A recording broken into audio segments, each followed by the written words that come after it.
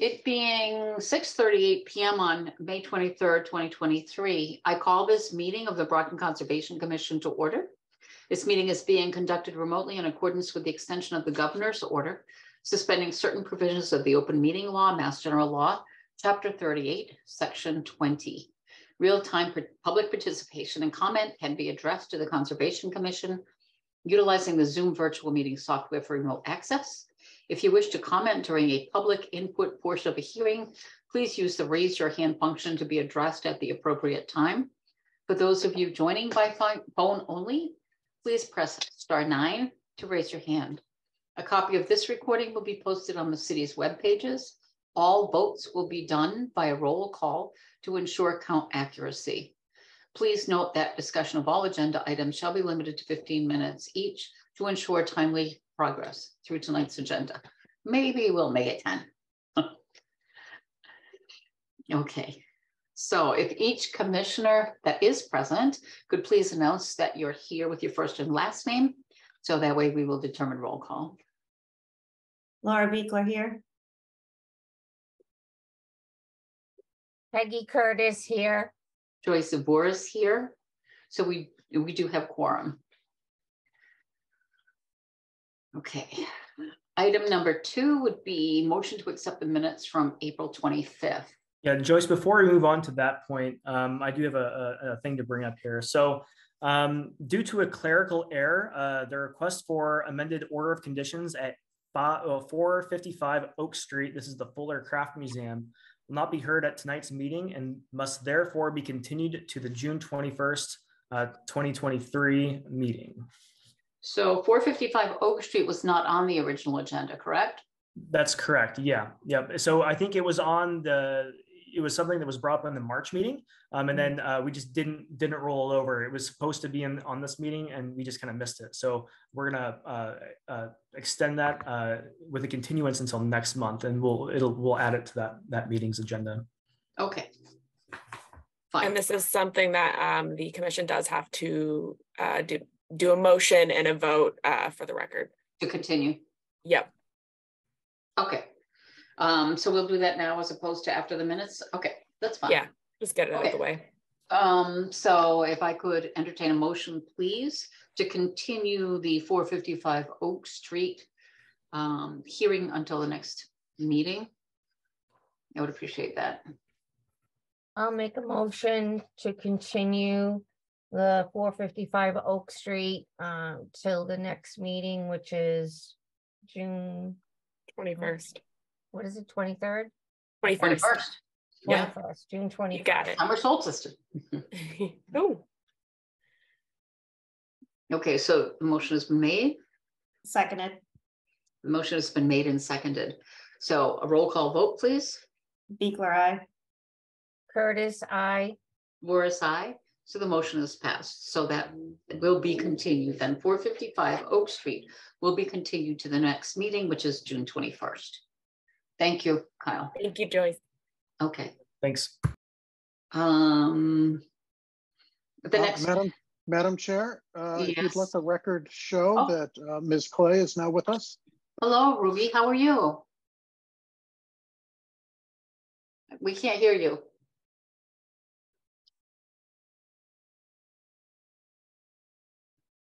No volume. We might be that log off, log back on again. Oh, she's putting on headphones.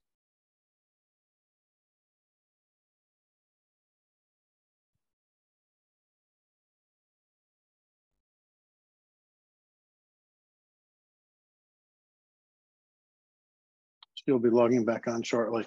Yeah. I'll wait for just a minute.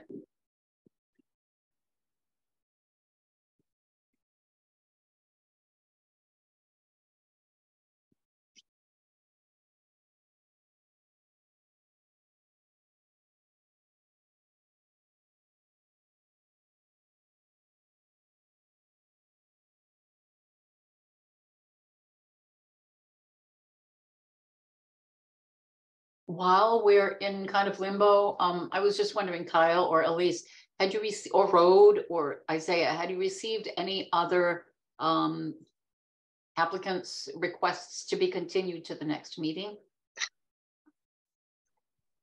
Not until, now. okay, No, that's fine.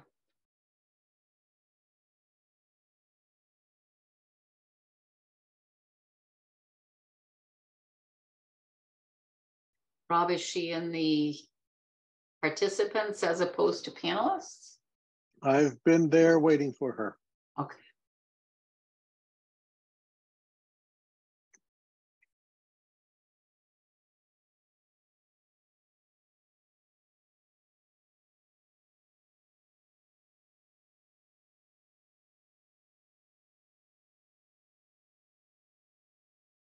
And just for clarification purposes, I see that Road and Kyle are both listed as, as co-hosts. Does that mean that you can um, allow screen sharing and that kind of thing for other participants to, to promote them to panelists? Yes, it does. Yes, it Okay. does. Yes. Good, thank you.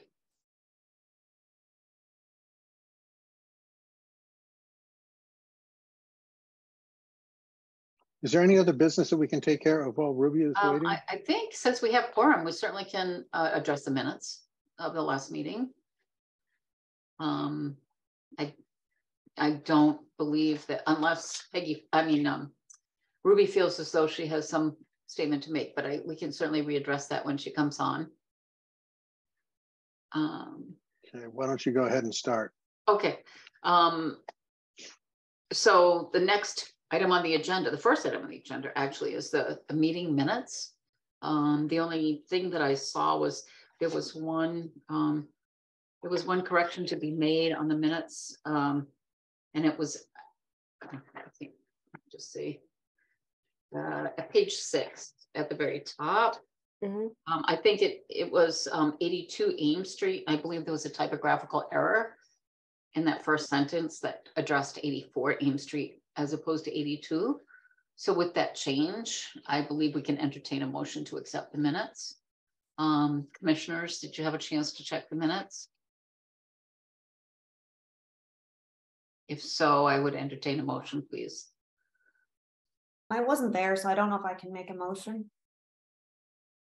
I make a motion good. to accept the minutes uh, of the April twenty-fifth meeting. Okay, that motion has been made. aye'll second that motion. Roll call vote, please. Curtis, I. Ovoris, aye. Am I supposed to be clear? I, I didn't think I was supposed to, but, um. I don't, I don't know that um you would be able to because you weren't there.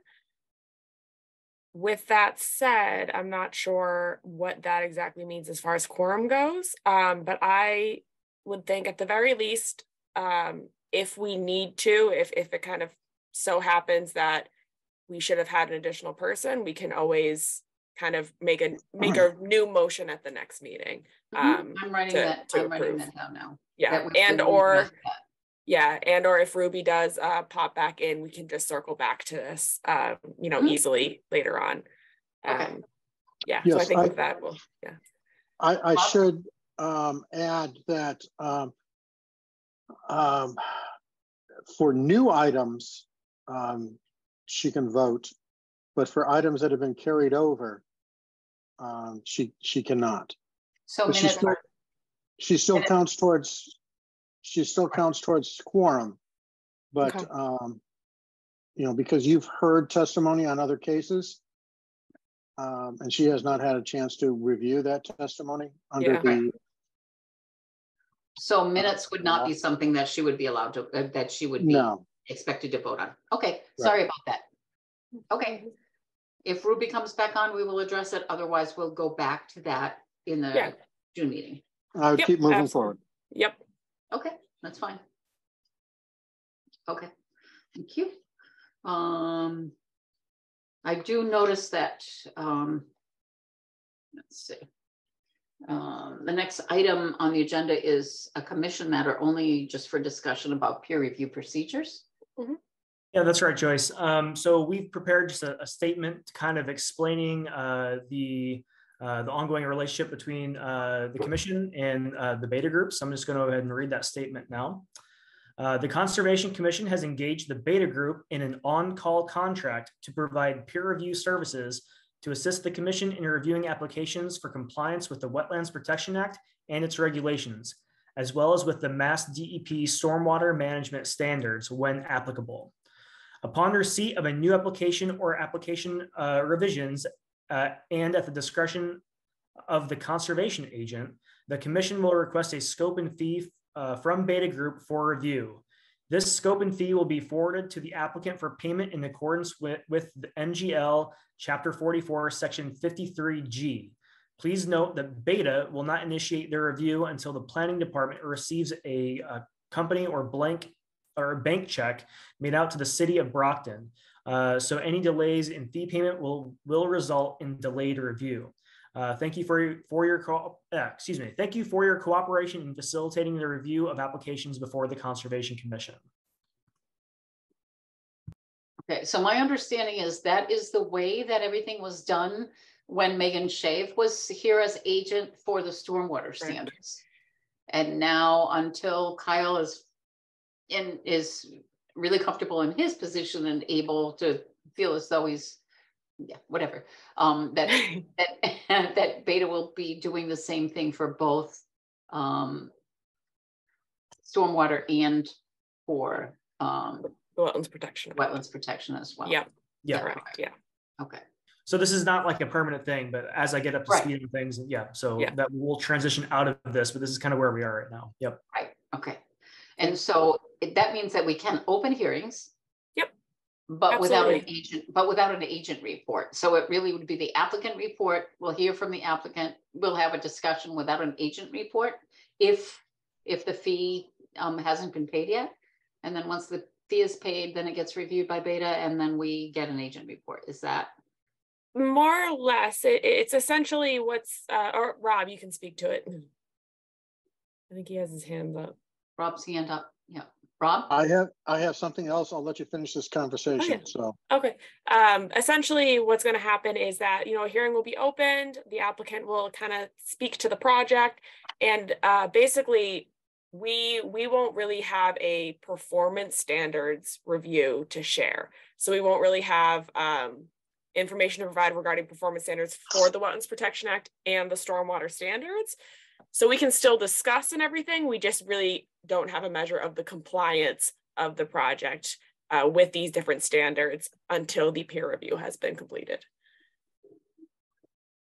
Commissioners, you okay with, I mean, not that you're okay, but you understand? Is- Is that okay? Is that understandable to you? Yep. Okay, Okay, fine, thank you. Thank you, Kyle. Um, number three on the Um, agenda. I believe Rob may Yeah. have a comment. Oh, okay, um, I just got, I just got a message from Ruby. She's having some other issues and she will not be uh, joining us. Okay, but we, we do have quorum, so Yep. that's not an issue, but we will forward the um, acceptance of the meet or, or acceptance of the meeting minutes to the next meeting then. Yes. Yep. Okay, I'll make a note of that. Thank you. Thank you. Thank you. Thanks, Rob. Okay, um, so the next matter will be for discussion only, um, would be utility notifications. Um, the first one is Eversource. They're doing some vegetation management. And I believe Kyle is gonna summarize that. I Uh, can, I think Elise is going to. Yeah. on yeah, I'll jump in on the, um, I'll, I'll end up doing the utility notifications. It's, it's pretty simple. Uh, for the first one, Eversource, it's, um, doing vegetation management on right of way six, which is kind of a, like an electrical easement. Um, and essentially what they're doing is they're gonna be doing work within bordering vegetated wetlands and the buffer zone to bordering vegetated wetlands. Now, this work is exempt under the Wetlands Protection Act, provided that best management practices are employed, uh, which they are doing. They will be using timber mats to access the area, which helps to distribute the weight of machinery so as to not compact soil underneath it. Uh, and then they'll be restoring the areas that they had to access after the fact. So it is an exempt activity. Um, it's more of just a courtesy notification and just wanted to fill you guys in on that one. Um, and I think the maybe I'll, yeah, I'm sorry, do you have the location of those I So, so that is, it's a right of way, so it's not like a, it's not like a a, roadway or anything, it's like Yeah. inside, it's a big electrical electrical easement, it easement. Yeah, um, so this one is, let's see if I can get an idea of where exactly in Brockton it is. Um, it's in a couple different sections, it's kind of, here, I'll share my screen. Um, doo, doo, doo. So this is the area in here. So it's, Okay, it's kind of a, side. yep, yeah. Mhm. Um, and I don't know, would you like me to do the next one as well, or do you want to see if there's any questions relating to this matter? Commissioners, do you have any questions at all? I think it's Uh, fine, thank you. Okay, and then uh, the next one was the Eversource gas line replacement. Um, that is a North Layden Street and a couple other adjacent streets. And this one is also uh, an exempt activity under the Wetlands Protection Act. They are just replacing some existing natural gas lines within the buffer zone to bordering vegetated wetlands and within the riverfront area. And again, this is would be an exempt activity taking into account best management practices uh, to be employed, like usual erosion and sedimentation controls, uh, etc. So that one Again, is also have the pretty straightforward. location? Do you have the location of those? It's, it's pretty, Yeah, yeah. This one is kind of a is a much yes. longer one. I will share my screen. I believe I read somewhere it was like a year-long project. Yeah, so it's kind of uh it's full extent of so this is Layden Street in the yellow here on the roadway, uh, and then there's some adjacent streets. So it'll definitely be something I'm sure that's done in pieces, um, you know, over time, but a pretty straightforward project within the existing roadway. Okay, do you know who the contractor will be that will be doing those, that maintenance, or does that? um, It it might just be like uh Eversource, like their own people, kind of Uh-huh. internal people. I'm sure they have um departments, so to speak, for that. Um yeah. Okay. Thank you. And, and the other, the only other question that I had, there was a section on dewatering. And it said if they had to do some dewatering, it would be pumped into a dewatering pit. Mhm. Um, if they're in the neighborhood along the street side, what do they do for a dewatering pit? Do you know? it, it there's kind of a variety of different ways you can handle dewatering. Um essentially what by pit what what usually um is meant is that there'll kind of be an area that's sectioned off, whether it might be like putting some stones around it, like bricks or something, or uh, a compost filter tube. And the dewatering water will be directed to that area specifically. So it's not necessarily like a pit they're going to dig in the ground. It's just Okay. a, an area to direct that water to infiltrate. So it's just groundwater being pumped out so they can do any So they replacement do work the work? and then it'll just be infiltrated, you know, uh, in an area where they have access to grass or stone or some area that that it could be So it's not resource. Okay. correct. Yeah. And commissioners, it, it looks like they have a pretty extensive like plan on what they're gonna be doing for practices. So, okay, thank you. Thank you. Thanks very much. Okay. Um, Okay, so the next item on the agenda, are violation discussions. The first one for A is the Oak Street Extension. Mhm. Yeah, I've got a, a, a kind of a summary of events that I'm gonna uh, read Thank off here. So, um, so this is for 30 Oak Street Extension, um, and I believe uh, Olga Leroy is here uh, as a panelist. So uh, we're gonna invite her to comment after I get done uh, with the summary. So here we go.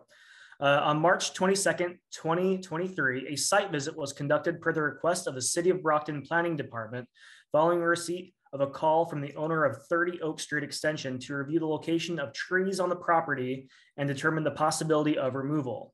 During this visit, apparent violations of the act and its regulations were also observed.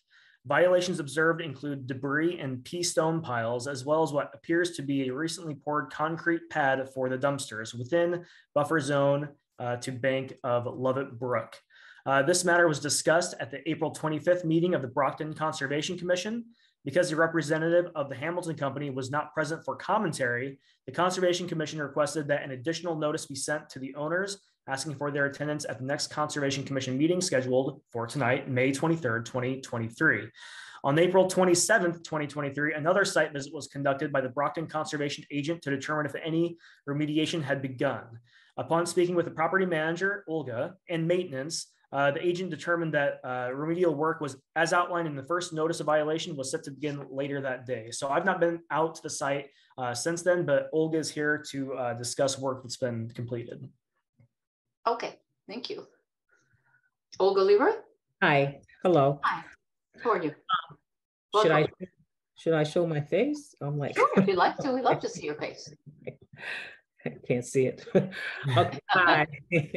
Um, so we are working on the issues that um Kyle has spoken on. We're working on that now. Um, but we need an extension because, because of scheduling with our landscaper, because we didn't know um about the situation or anything like that. This was the first time that we have dealt with it because originally we had rats in that area. So that's why we put those, like we had put stones down or something like that. So that was a violation, which we didn't know about. So that's why we asked for the conservationist to check it because we wanted to do trees, but then we found out that we couldn't do that either. So, so we're working to restore it back to the way it was. And we have a landscaper that's already, you know, in motion. He hasn't started because of scheduling, but we just needed a little bit more time. Okay. Thank you. Commission, I'm, this, this is not an enforcement order. Um, I think it was really wonderful that the, that the company came forward to ask about the trees in the first place. And, and, yeah, this is kind of an aside piece, but, um, appreciative, really appreciative of the fact that you're continuing to follow the Wetlands Protection Act and, and willing to work with us. So that's great. Mhm.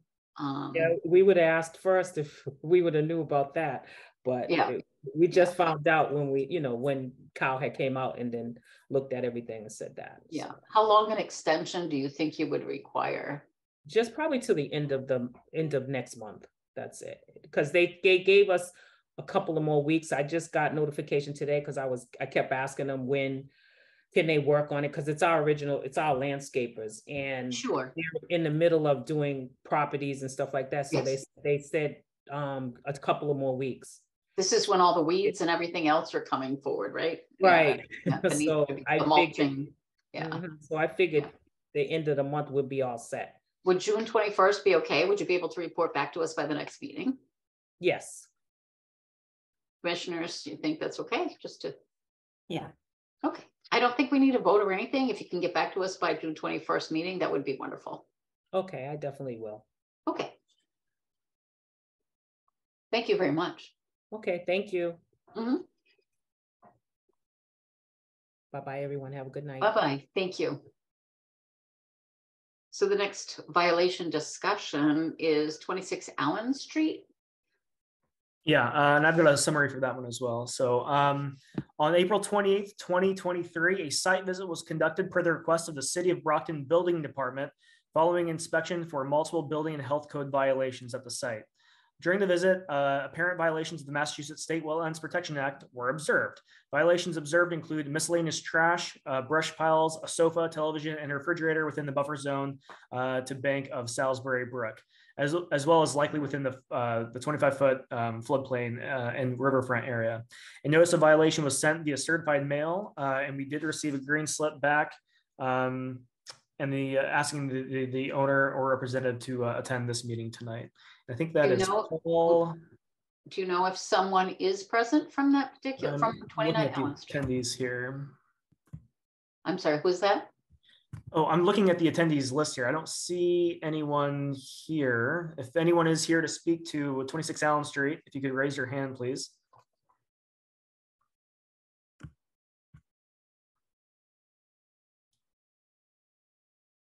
What was the date in April that you went, Kyle? Uh, the, the 28th.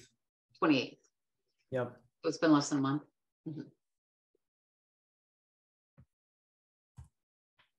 I don't see anyone raising their hand. No, I don't either. Um, Kyle, do you feel that an enforcement order should be initiated at this point? You know, I'm not sure. I, I think that this is a fairly easy, uh, you know, uh, Easy fix? yeah, easy fix here. Just you have to got to clean up and, and kind of clean up that area. Uh, you know, there was no construction done, um, no pavement added. So I can I can follow up and just kind of do a site visit and see if, if any work's been done, and then we can I guess always issue another notice of violation asking them to come to next month's meeting. And do you know who the owner is? Uh, yeah, I have the I have the name. Uh, it's Paul. Uh, this is a let's see. I had it pulled up here. Um, Sarophilus or something similar to that. I, I don't have it pulled up Uh-huh. right in front of me, but I can I can I can reach out again and um and, and see if they can you know come to next month's meeting. It would be great. and A we'll do letter, Um, email visit? Can I uh, make a suggestion? Um, from his last name, it seemed like he was Greek. Um, does he speak English? Um, can Yes. we kind of like issue the letter maybe in another language? Yeah, um, I'll, I'll uh, I didn't actually safe speak with the owner. Um, I know that uh, members of the building department did, so I will I will follow up with Oh. them. That's a great point. Um, we'll we'll we'll confirm that that there is no language barrier. Thank you, Peggy, and um Okay. and then we'll maybe just postpone this until next month and follow All up. right, Okay, that's great. And then if there is no action by next month, we can take action at that point with enforcement. Sure. Okay, That sounds great. Thank you. Uh, speaking of enforcement, the next item on the agenda for commission matters is, are enforcement orders. Um, the first one would be Otis Street. Yeah. Um, so I've got a summary, and then I've got some pictures that I can share as well for this That would one. be great. Thank you. Um, so on, on April nineteenth, twenty twenty-three, the building department, acting upon complaint from a neighbor, conducted an inspection at nineteen Otis Street and observed unauthorized construction activities. The conservation agent was notified by the building department and subsequently completed a site inspection at the above mentioned property. The agent observed that a retaining wall and a pergola uh, were being constructed abutting Salisbury Brook, which also appeared to have crossed the property boundary onto the city-owned parcel. A review of aerial, aerial photography suggests that the work uh, may have additionally been completed within the bank of Salisbury Brook and bordering lands subject to flooding. Uh, so I issued an enforcement order on April 27th via, via certified mail, and I did receive a green slip. So let me. Do you have the date of the green card or green slip? Uh, I don't on hand, uh, Okay. but I, we did receive that. I can get that for you, Joyce. Okay, that's fine. All right, let me uh, pull this up here and I will share my screen.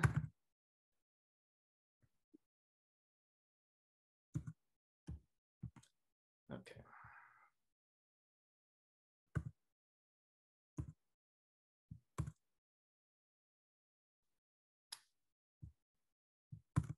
All right, can you all see this?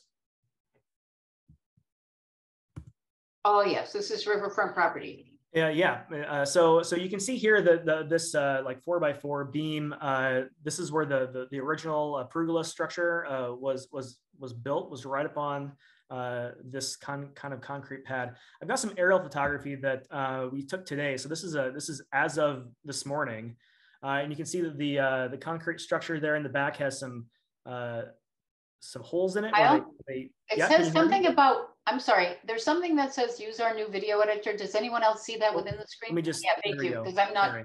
I'm not, if you could use your cursor to show us where Oh, you're, Oh, sure, absolutely. So, Okay. so up here, this, this is the, okay, so, so this blue fence is the, uh, the property line.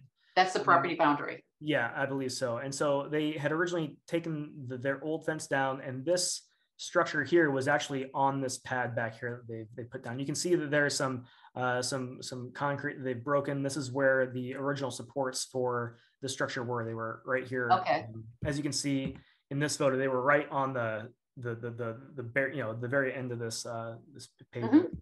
Um, so here's just another shot. Um, and this is shows you a, a really good shot of the, of the, the property lines basically right here where this fence is. So this whole parcel back here where this concrete is and then this open ground, I'm not sure if this is a garden or what this is back here, but this is all uh, on the city owned parcel back here. Okay, Um, and so it's right on the twenty-five foot, oh, well, right on the riverbank? Yeah, so you can see this is the, the this is the the brook here, um, and you can see uh, where we are right up on uh, you know about as close Yeah. as you can go on the on the low water level that we've got here. Um, so I've got some other uh, photos too. I guess that's not going to work. Um, the other one are PDFs, so I think that's my issue. Um, I, I've got some that, that show the uh, kind of uh, aerial satellite images and the property line. I don't know if that's really uh, relevant. You can see it pretty well here with this shot where the property line uh, is really right where this fence is. So Yeah. all again, the structure used to be here. They've they've moved that back. Um, so that's kind of a, a summary of of where we are here.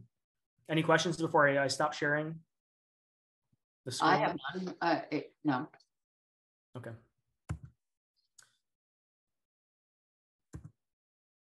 Oops, sorry, Is- Kyle. Yes. We have someone in the attendees with their hand I up. was, I was just gonna ask now if, if we did have an attendee present.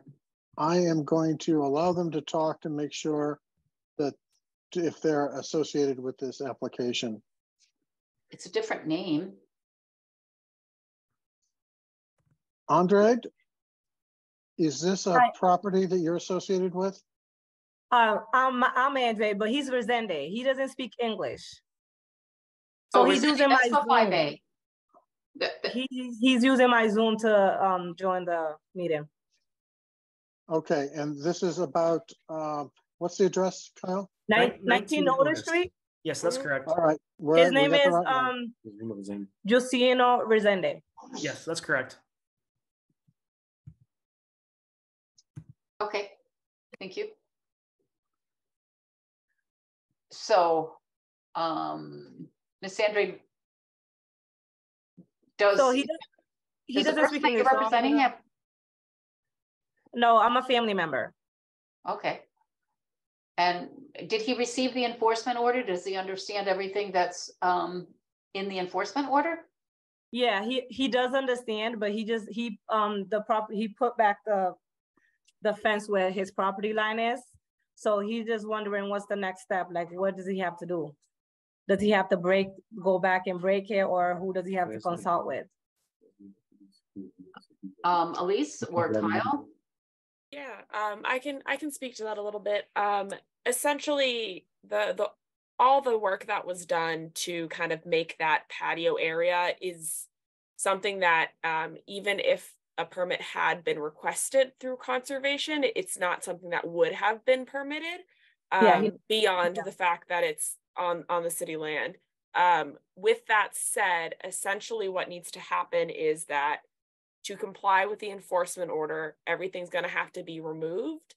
However, before it's removed, um, we're gonna have to, he's gonna have to file a notice of intent to kind of permit the uh, removal of, of this, uh, of these items. So it is something that requires uh, a full, it's a, it's a permit, it is uh, abutter notification, a legal notification, like a legal ad, as well as having um, plans put together to document kind of where the resource areas are or were, where the bank of the of the stream or of the brook was, um, so that we can restore the area um, to pre-existing conditions or ideally even even better. Um, but that's kind of the the basics of it. With that said, it might be, and you know, it's up to the the commission as well, but it, it might be something that um, we could maybe with your assistance as well um, touch base either via email or something to kind of uh, have it written down or, or get get some um, maybe some guidance on on the exact steps if that would be helpful. Yeah, that would be great. Um, if one of you guys can provide your email, we will email you and see what the next process is, the next step to get it done. And he said he is really sorry about all this. He didn't know what's gonna cause him all this trouble. Yeah. Miss Andre, it's just so close to the river and the river is con- considered a- like a protected area. And so. Yes, I know. Yeah, yeah, okay. Okay. Uh, Would it be possible, Kyle, would you be able to go visit? Do a site? Yeah, I certainly can. Um, so I'm gonna, bank. I'm gonna put the, uh, the conservation email in the, in the chat that everyone should be able to see here. So if you just want to email me, uh, my is Kyle. You don't have to address it to me. Uh, just, just send it to this email and then maybe we- we can set something up. I can come out there, uh, and we can have a discussion about the next steps, uh, and how to file an NOI. So I, I put my Okay. conservation at cobma.us and it should be in the chat. You should be able to see it there. Ms. Andre, do you see that? No, I don't see the email yet. Okay, you have to go into chat in the bottom. I don't know if you can see that. Yeah, I am in chat, but it says, um, my chat is disabled. I only see Oh. Rob May. Uh-oh. I see Rob May asking, is this your property? That's all I see in the chat. Um, hang on just a second. I have a way of dealing with that. I think Um, Kyle's is only to hosts and panelists. It Maybe was that's only sent to why hosts and panelists. No, I- Oh, yes, it had- was. Thank you. Not to participants. I'm making her a panelist so she can see the chat. Okay. My apologies.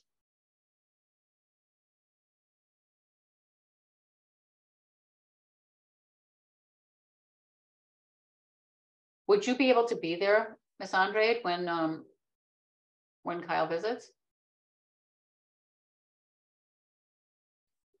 And Kyle, you're going to have to um, resubmit that email address.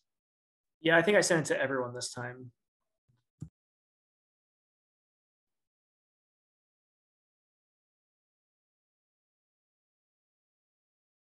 Ms. Andre, are you still there? She's muted. She's muted. I see. Yes, I'm here. I see the email. I mean, the, yeah, Okay. conversation at cobma dot US, Yeah, conservation. Conservation, COBMA. yeah. Toby, conservation. Wonderful. So a date could be a sta, you could set up a date and. and go. Yeah, I'm gonna email him with a date that I'm available and he could come by and then we'll go from there. Yeah, that Great. sounds great. Thank you. Thank you. I appreciate it. Thank you. Thank you so All much right. for your help. Bye-bye. right, thank you. Bye. Uh, the next enforcement order would be eight oh three Crescent Street. We need an update. Yeah, uh, I got a quick update for that. Um, as you may recall, uh, during our last meeting, uh, Mr. Silva uh, phoned in. We were having connection issues. It was really, he was breaking up. It was, it was hard to, to, to communicate effectively with him. So we decided to all go out and do kind of a site visit with him. So Elise, Joyce, and I uh, all went out um, on May 3rd uh, to discuss the issued enforcement order with Mr. uh, Silva uh, and uh, to discuss remediation possibilities. Um, so we had a good conversation with him. He's very amenable to to working with us. Um, and then he followed up with me on May 9th um, and requested guidance on his next steps, next steps required to comply with the enforcement order. Uh, so I worked with Elise and wrote down uh, kind of a step-by-step kind of instructions of, of what he needs to do next. So we uh, gave him that guide. And um, so he's taking this, he's not here tonight. Um, he's taking like this month to kind of get uh, someone hired to, to do the uh, delineation and come up with a plan uh, to, to, to do some remediation work on the, the kind of the bordering land uh, subject by the brook that, that's right by uh, his property there. So I'm going to follow up with him before the next meeting, and I'm hoping that he'll have something to present to us in June. Commissioners, it was a really interesting case because um, he actually had purchased the property in January. So he actually didn't have the work done, but he's responsible for remediation as a result. So it's, it's, yeah, it was an, it was an interesting, interesting case. Yeah. Any questions at all or comments? Um, the next enforcement order would be eighty-two Ames Street. I didn't see an actual copy of the enforcement order. I don't know if it was uploaded later. So this is actually, we, this is a part of the problem that Joyce, you and I were talking about with the agenda being kind of chopped off. So this is actually, this is on the agenda that's posted on the city website, but it didn't make it on the photocopy um, that's posted to the Google Drive. So um, it's, it's, you know, it's on the, the one that's posted on the city website, but so it, we'll try to be more cognizant of making sure it doesn't get chopped off. Uh, but this was on uh, the agenda. So, um, and this is also kind of an update. Um, I've got some pictures of the site too that I'll show you after the fact here, but um, this is kind of a long-standing uh, uh, site that we've been dealing with for uh, multiple years. So um, let's see, I'll just go ahead and read you my summary. Uh, on April 28th, 2023, a site visit was conducted following a phone call to the conservation agent concerning ongoing groundwork uh, on the site of 82 Ames Street. Uh, this site has been issued multiple enforcement orders uh, over the years uh, for doing basically the same type of work um, that they've done in the past. So I guess I'm to go ahead and share a screen now. I've got some more written down here, uh, but I'm just going to show you kind of over time what's been what's been done here. So, um, all right. So this screen, this picture here Oops. Let's see. Hmm. All right. Let's see how do I get this up there. Okay. So um, this is the picture that I took this year. Um, I was on the roadway here. I wanted to get that in the picture, so I was not on the, the property there. But um, here, uh, this kind of kind of grown over area. You'll, we'll see a better shot of this in a moment, but this is there's a little uh, ditch that kind of runs through here and it goes underneath a culvert uh, underneath the road coming towards us. So you can see that they, have done some groundwork over here on the on the left side, and then also they've got some uh, work that they did over here. This is all one big parcel, um, but the, it is bisected by this uh, by this creek here. Um, so this was uh, from April 25th of this year, 2023. Um, this shot is the same property. Again, here's the, the ditch that runs through here. And I know you might think this is the same day that I took this photo, but this was actually taken on May 18th of 2022. So uh, very similar work. This is not something that's been grown. Uh, you know, they, they, they, did work basically the same type of thing last spring in 2022. Um, this photo is uh, of the same location, um, but this was taken on May 21st, 2021. So again, this is the right side, which I didn't have a great shot of before. You can see where they've kind of come in through here and they've basically cleared everything out uh, with some sort of uh, earth moving implementation. Um, I've got two more photos here. Uh, this is an aerial shot of the property in question. The property in question is here, 82 Ames Street. It's the, the creek runs basically uh, kind of right through there. Um, so you can see uh, you, there are trees and stuff that are kind of up here. This is in 2019. The following shot here is from 2021. Um, and you can see they've, they've done a lot of work here. They've knocked down some trees. Uh, and this is kind of the beginning. Um, this is the same year as this photo here. So um, this is obviously something that's been going on for multiple years. Uh, since at least 2021 um, and, and it was pretty undisturbed looks like here in, in, 2019 so this has kind of been going on for at least three years um, anyway so i'm going to continue on with my with my statement. So, um, uh, so before I, I did send out a new enforcement order. Um, it must have been Friday um, of this. Uh, no, I sent it out actually yesterday. Uh, the, the, the most recent enforcement order was sent out yesterday, but before that, uh, the most recent enforcement order was sent to the property owner in May of 2022. Uh, the previous agent, uh, Megan, uh, reached out to the Brockton Law Department requesting uh, assistance. Uh, in this matter. Um, so we were kind of waiting to hear back from law to see what steps had been taken uh, between then and now before I issued the current uh, order that I sent out yesterday. But not heard anything back from law. Um, but we decided that it was it was prudent to get the uh, the new enforcement order sent out. So I did send that out yesterday. So I guess that's the update. Uh, no one's here. Um, uh, concerning the, the, most recent enforcement order because I just sent it out. They haven't received it yet. Uh, but I did just want to like make the commission aware of, of this kind of ongoing uh, violation here. Uh, does anyone have any questions with the photos before I stop sharing screen? Yes, I have a question. Yes. Um, in the the shot of 2019, I saw a, like a retaining wall on each side of the uh, flow of water. And yeah, it is kind of it, it's open to the air, but um, it is hmm. uh, it is kind of constructed right. It, but side, it looks very um, stable. Um, in the latest pictures, it doesn't look like that retaining wall is still there, and it's. I think that I like think it is been... still there, but I believe it's just the angle that we're looking at. I didn't pull the the. I ha, I do have a current photo from this year where I'm kind of looking down that channel, um, mm. And I believe it's still intact, uh, but this is just at a, at a different angle. Mm. Um, so you can't really see, and it's kind of overgrown here, but I believe that those, those that wall on both sides is still intact here. Okay. Um, do you do you have a copy of the enforcement order there? Because I, I think generally we're supposed to ratify enforcement orders, aren't we? Um, uh, well, we did uh, vote to issue the enforcement order. So since the commission made the vote instead of us or, or of of this of uh, the agent issuing an enforcement order on their own, um, you don't okay. have to. And oh, yeah. ratify. But, okay. So yeah. So okay. Yeah. The, the way that this worked is, is okay. I did bring this to the the meeting in April. Um, but I we hadn't had ch- a chance to, to draft it or anything. I, th- I, think I went out to the site either the day of the meeting or the day before yeah. the meeting. So okay. we discussed it last month.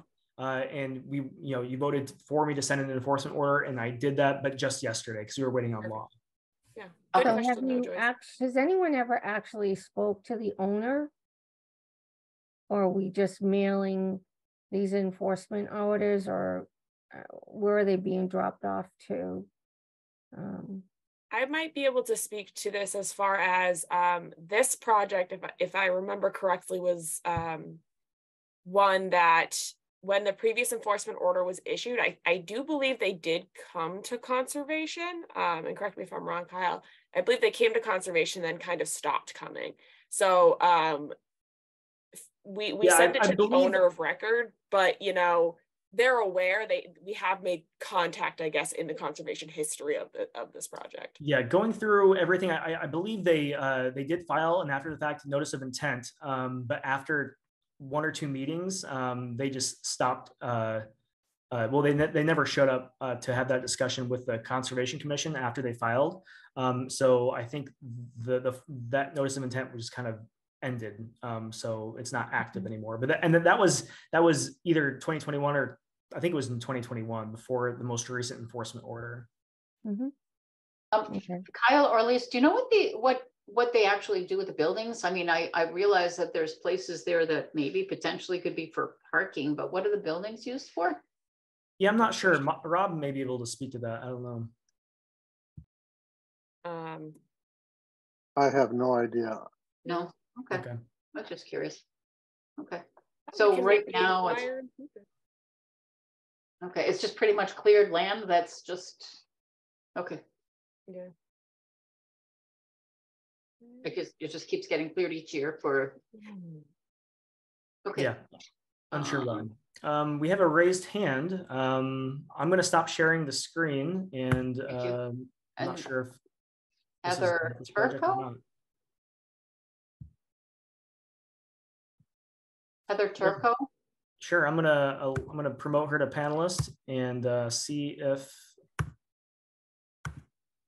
No, maybe not. It looks like she'd shared something in the chat, um, just Okay. uh, regarding uh, maybe since it's owned by a realty company, you can issue a warning of revoking their real estate license. So, you know, I think that she's just um, sharing potential options of Okay. exploration, uh, depending on, on what the property entails, I guess you could say. So just other avenues uh, we could, oh, so through. that particular piece of property is owned by a realty company. well, yeah, I, I think that's what she's saying. Yeah. So that Ah. I think is kind of just a, a thought for us to consider. Yeah. She says yes. Um, thank you, Heather. Yeah, thank you. Um, Kyle, who did you send the enforcement order to? Just to this, the address? All right, I was Okay. muted. Sorry. Um, so no, I looked up the um, the yeah this this piece of property is owned by a company.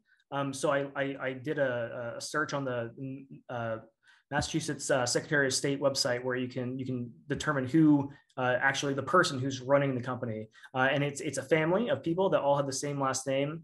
Um, so I sent my most recent enforcement order to the same individual that that Megan had uh, corresponded with uh, previously. Okay, okay, that's fine. And with a, re- with an invitation, I hope for the next, for attendance? Yes, yes. So I, in, in my enforcement order, I, I, I requ- requested that they attend the, the June meeting. So we'll see. I have another question. When they did come to the uh, Conservation Commission meetings, did they in, appear to uh, comply or uh, say that they were going to um, make corrections to the property or Yeah, I'll have to go back and look at the minutes, but it's my understanding, uh, based on reviewing just Megan's summary of events, that they never actually showed up uh, to any of our conservation commission meetings. It was just that they issued, uh, they, they were issued an enforcement order, and then they they followed up and uh, submitted a notice of intent. But then after that, they just like never communicated with the commission again after they submitted it. And the notice of intent was was put together uh, by uh, like an engineering firm professionally, uh, and they submitted that. And then after that fact, um, after that was submitted, then I don't think again we'll have to go back and check the minutes, but I don't think they ever uh, uh, showed up to any meetings to have a discussion with the commission. I feel satisfied that we have done what we have needed to do as a commission and that at this point, it would need to go to uh, the law department for review. Yeah, and I think that's where they that's where the commission was in May of 2022. And so this Right. was, as far as I know, referred to the law department. I did find a, a document that Megan had drafted um, that was addressed to the city solicitor referring this this exact issue to the law department. Um, but again, in that la- in, in the year since then, this is a, a- almost exactly a year ago. I don't know what action the law department has taken uh, concerning this issue on, on enforcement on this property. Uh, so that's why uh, we didn't issue the enforcement order uh, that we, after we discussed this in April of this year, we didn't issue the enforcement enforcement order right away. I was kind of waiting to, to see if we could figure out what action law has taken concerning this property, and we weren't able to determine uh, what action, if any, the law has taken. Uh, so that's why we issued the uh, the enforcement order just yesterday.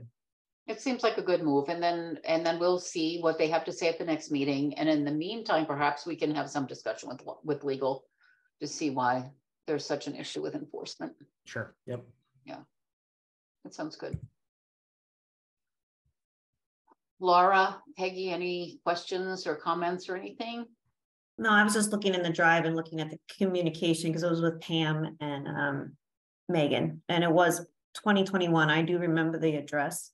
So that's Mhm. why I, I looked up in the drive. I have a much kind of, I vaguely remember the case, but I don't. I just remember like you indicated, it seems like they just dropped off. Like I, I don't know. It's like we didn't have any persistence after a certain point, and I know there was a pandemic and everything, so I'm not sure. Yeah. Fair enough. Yeah. Okay, so we will continue on and we'll see what happens next month and, and take it from there, okay? Thank you. Okay, uh, let's see, item six on the agenda is uh, another commission matter, which is an extension request for one thirty-two Campanelli Industrial Drive. Yep, and I've got a, a short summary here, and I think there may be some people in the chat um, uh, concerning this project here too. So, um, so here's the summary. Uh, Elise and Kyle met with representatives from Kelly Engineering on May 16th, 2023. Uh, they are requesting an extension of condition E1 of the order of conditions relating to the completion of buffer zone restoration within one year of the issuance of the order, uh, which was originally issued in, on September 7th of 2021. Um, so uh, obviously a year from 2021 uh, is not now. Uh, so last year, uh, the uh, Kelly Engineering or, or the property owner issued a similar request on October 5th of 2022, and the commission voted to issue an extension for that one condition that we're talking about uh, to June 7th of 2023. So we're coming up on that June 7th deadline. Um, so that's it's about to expire the the, the, the previous extension that the commission uh, uh, granted them. So uh, to this point, no work um, as permitted under the order of conditions has commenced on the site due to changes in ownership and uh, occupancy problems, or, or just no occupancy in, in these commercial lots. Um, so due to the delay in starting the interior renovation of the work uh, uh, of, of the on-site warehouse, uh, they were not able to commence the site work earlier this spring. Uh, they have requested an additional time extension for the completion of the buffer zone work until June 7th of 2024. And they anticipate starting the buffer zone work uh, around the first of next month, June 1st, 2023. Do you have the, you don't happen to have the map there, do you? Uh, not handy, but it's on the drive. I'm sure we can dig it up. Did I hear you correctly when you said that there's new owners of this Yeah. property? Yeah, I believe there was a, a change in ownership uh, somewhere uh, along the line here. Yes. And they did notify uh conservation, they did send a letter. Uh, I found it in the drive, so it- they've been kind of um communicating with us um regarding this. And they they have not started any of the work so far, so it's not as though they've kind of started doing the work and then ignored the restoration. Um, from what I can tell, from what they indicated, there has been no work started, so they were just looking to extend that one condition within the order. Do you think it's reasonable to request a whole year to complete something that was, eh, you know, uh, Yeah. issued a year or two ago, or Yeah. actually two years ago? We had um we did discuss this and um it was actually kind of um uh myself who had advised that at this point it's better to ask for additional time uh, instead of having to come back to the commission. So, you know, at that point, if a year has gone by and nothing's happened, then I think that that might be a different story. Um, but it was it was myself who had actually kind of advised that, you know, they they ask for this one last extension on this condition. Um, to make sure that they don't have to come back regarding this and make sure that they have additional uh, we, sufficient time. uh, if we approve this year extension, do we have some stipulations that we will be needing uh, progress reports um, periodically, monthly, quarterly? uh, Yeah, no, I like know that? exactly what you mean. Um, essentially, as a part of the restoration, um, they we basically will have to before they can do other work, kind of give them a sign off of, yep, all right, you've you've started the restoration. They've shown us, they provided that information. Now you can do this other work. So there is, um, I guess, a, like a fail safe in place to make sure that that work is done and done correctly before they get to continue with the rest of the permit. And the, the, the restoration itself, has that already, already been approved, the type and scope Yes. of the restoration? Okay. Yep. It's, it's simply an extension to next year at this time, right? June of twenty-four. Correct. Um, I, I I meant more specific to the, what they're actually doing. That, um, that's already been approved, like if they have to put in vegetation or reseed or put up, Yes. um, things, uh, in that.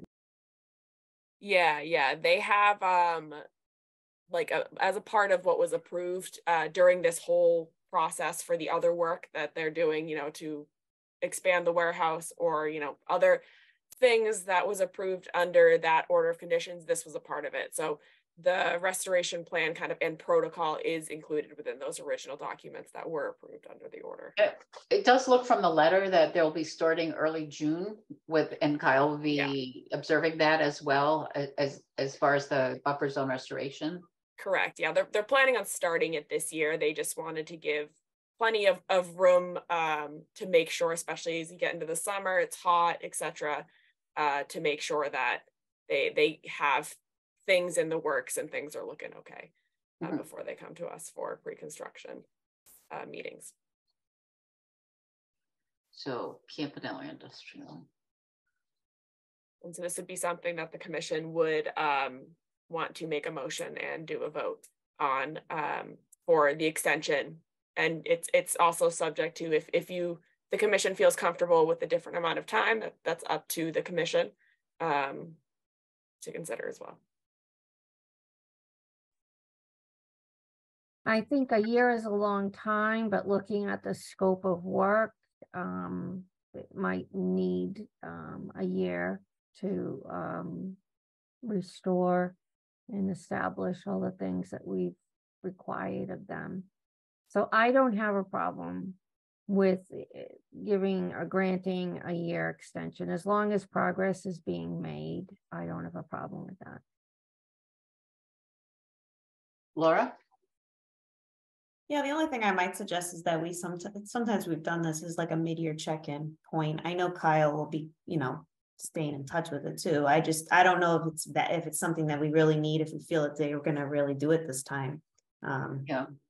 I don't know, it's kind of, sometimes we err on the side of caution historically with this commission, but I, I don't know, it's, um, I wouldn't, I think a mid-year, not making them do a quarterly update, but maybe a mid-year check-in, just to let us kind of know where they're at. Um, Yeah, but starting in June, perhaps maybe even November to see if Yeah. everything's uh, going according to plan.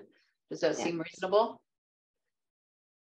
I think that's good. Mm. Okay, then I entertain a motion to grant a, a one-year extension um, um, to June seventh, twenty twenty-four, with the stipulation that there will be an evaluation done in November of twenty twenty-three. Um, I, I entertain that motion. You need me to make that motion or second it? Yes, please. Um, I'm just entertaining. Um, I make a motion to grant the year-long extension for one thirty-two Campanelli Industrial Drive to June seventh, twenty twenty-four. with the stipulation that there will be an evaluation in November of twenty twenty-three. Second, Okay, the motion's been made and seconded. Um, roll call vote, please. Biechler aye. Curtis, aye, Voorhis, aye, motion's made and, okay, motion passes. Okay, thank you. Was, oh, yeah. Yeah, that's, that's just an extension request, so there was no need to hear from the applicant. Okay. Okay, now we actually get to a notice of intent.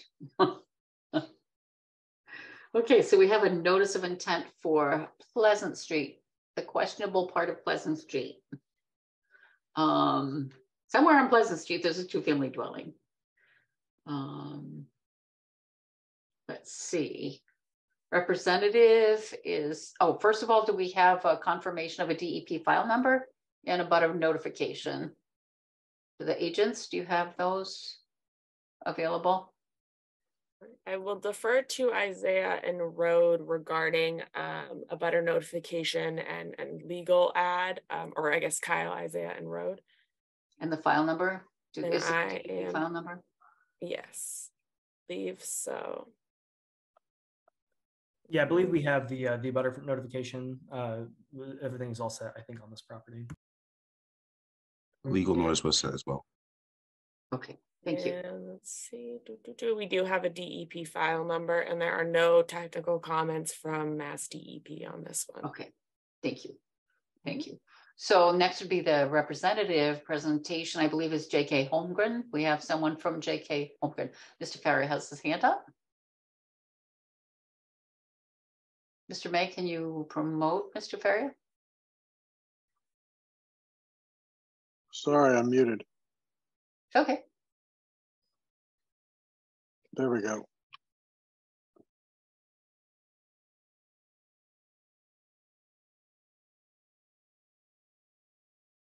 He should be joining any second now. There he is. Yeah. Disappeared. Oh, there you are. Hi, Mr. Ferry. How are you? Haven't seen you in quite some time. It has been a while, Madam Chair. Good to see you. Yeah. Uh, Good evening, Madam Chair, Commission Member Scott Faria from Holmgren Engineering, uh, representing Cedar Point uh, LLC and Michael Heichel uh, for a piece of property on Pleasant Street, just down the road from Fields Ave. Uh, Fields Ave is just newly constructed back a few months ago. Uh, This is a piece of property right next to Fields Ave. Uh, It's kind of a, a large piece of property. It's uh, zone commercial, but really in a residential neighborhood. Uh, We came before the commission back two years ago to get a, uh, an agreement on the wetlands line. We filed a abbreviated notice of resource area delineation. uh, That was approved back in June of 2021. So that is the wetlands line uh, that's shown on the plan. And if you allow me to share the screen, Yes, please. I'll attempt to do it. Mhm. All right, great. All right, uh, this is the uh, Salisbury River, runs uh, between Prospect and Pleasant Street. Uh, So that is our western property line is, is the threat of the Salisbury River. Uh, Again, the resource area uh, was delineated, located, and ultimately approved by you folks back two years ago in June of 2021. Uh, Since then, Mr. Heichel divided the property, built a new house on what is called Lot B on Fields Ave, the middle house on Fields Ave. And uh, once he got that construction done, we decided to file uh, for permission to build a two-family on the lot that we have before you. Uh, It's zoned commercial, so we had to go to the Board of Appeals. Uh, That obviously took some time. We received a variance from the Board of Appeals, uh, I believe in October or November of this past winter uh, for permission to, to build the, the property as shown before you. Uh, So that allowed us to file this notice of intent. So it's a, a two-family home. Uh, We've kind of tucked it as far away from Salisbury River and the resource area as possible, uh, up against the, the side, the right side and the front yard setback. And uh, just because it's Pleasant Street and obviously a busy street, we didn't want, and the, the ZBA didn't want to have two separate driveways that would have to back out onto Pleasant Street and, uh, you know, coming up with a unsafe condition there. So uh, to get around that, we're kind of building a, essentially a parking lot. It's small. It's enough for seven cars, uh, but we're adding a, a, parking area to the side as opposed to two larger driveways uh, that would have to bump out into Pleasant Street. Uh, so that's what we have before you. The house is about half of the house is within the 100 foot buffer zone, about half of it, and most of the grading is outside the buffer zone. And certainly, as you can see, the, the parking area falls within uh, your jurisdiction and within the buffer zone. We have the limit of work shown uh, outside of the, the 25 foot buffer zone and just giving us enough room to do the construction that we need and to have a little room to grade off the property. Uh, if you have any questions, Madam Chair, Commission members, I'd be happy to answer them. So that's a two-family, is it two-story? It's yeah, it's actually it, it's it's kind of the as opposed to a side by side duplex. If if you drive around and, and look at a lot of the new houses the, that are being built on these smaller lots, not that this is a small lot, but on the smaller lots in Brockton, the two families instead of side by side, they're up and down two families, uh, kind of your traditional two family home in a in an old city neighborhood. Uh, mm-hmm. So it's a, a first floor unit, and then the second floor unit comes with a loft. So the second floor unit is actually the more desirable of the, uh-huh. uh, the two units on these. But there, there's a whole bunch of them around the city. Everybody, uh, it, it's what everybody's been building the last, probably the last five years or so for a uh-huh. multi. Okay. Commissioners, do you have any questions at all yet? I know I that, um, I have a question, I'm oh, sorry. right ahead, Peggy. I was slow on the uh, unmute button there. Um, the parking lot is really right up on that uh, buffer zone. Um, are there uh, precautions put in place for runoff? You know, sometimes cars leak, you Mm-hmm. know, uh, oil or uh, antifreeze, things like that. Um, what kind of um, precautions have you put in place so that it doesn't run off into the? We- um, Yeah, Right. we, we do have a, a leaching catch basin, so a, a catch basin proposed right here in this corner, the, the parking lot would be graded uh, to drain towards this leaching catch basin to ensure that uh, none of the parking lot, uh, none of the flow from the parking lot goes towards the Salisbury River. So it, it'll all go into that catch basin, and the catch basin has to be maintained uh, just as part of routine maintenance. The catch basins are supposed to be maintained four times a year uh, under stormwater management guidelines. So as part of that maintenance, uh, that would ensure that the, the catch basin continues to, to work properly. And is that the area designated for slow snow removal also where the catch basin is? I, yeah, I, I, I, well, it would be beyond the catch basin. I think realistically, a snowplow would just push the snow straight back. Mhm. Uh, you know, away from, certainly away from the river, but push it straight back, uh, more behind the house. Is Uh-huh. there a wall uh, surrounding the parking lot area? Nope, the, you know, that, that side of the lot is relatively flat. It's, uh, there was really no reason to, we didn't need to bring in a whole bunch of fill into, uh, propose a retaining wall. There was no reason to do that much, uh, Mhm. that much construction or earth disturbance. I was wondering about that. Is there, I, I'm not sure about the topography here. Do you have, um, actual topography? I see one thirty-one. Yep, there's, uh, I, I just don't see the topography values. nope, I will, I will show you. I just get, to be honest with you, nervous when I start hitting buttons on these things. Uh, all right, so there's, the one thirty-one is right up against this, this flood zone.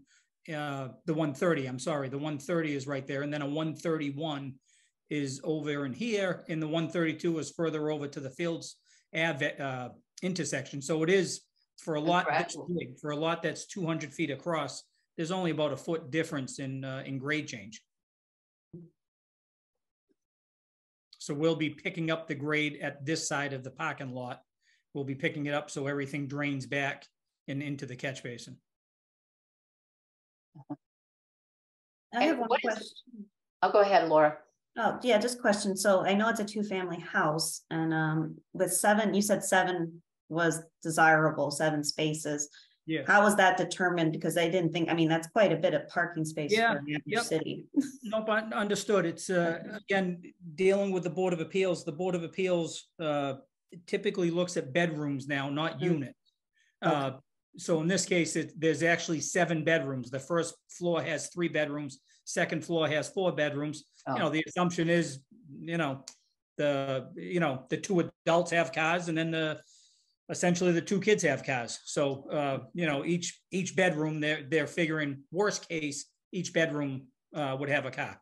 Okay, So best case, they'll have a couple of extra for visitors. I mean, the, you know, as far as the Board of Appeals and even the planning department, the, you know, the one thing they don't want is people parking on the streets. So, great. uh, you know, we, they usually ask us and we usually try to give them either a, you know, an extra long driveway or, or something to this effect, just so, you know, Okay, Christmas morning, things like that, there's enough parking for everybody. okay, thank you. Sure. Mr. I have another quick- oh, question. Go ahead. Go Sorry. go ahead, Peggy. Um, you said that this, um, property is, uh, business zoned, is that correct? It's commercial zone. A commercial. Yes. Does that mean that, uh, business may go into one of these properties or? Uh, nope, it was, we received a variance, uh, a variance to, to build a, uh, a, a two-family home. If a business wanted to go in, it would then be a mixed use and it would, uh, it would invalidate the variance we received. So it- it, there would be no, uh, we certainly don't intend to, but even a future owner wouldn't be able to, to run a business out of the home. It would, uh, it would void the variance that we received.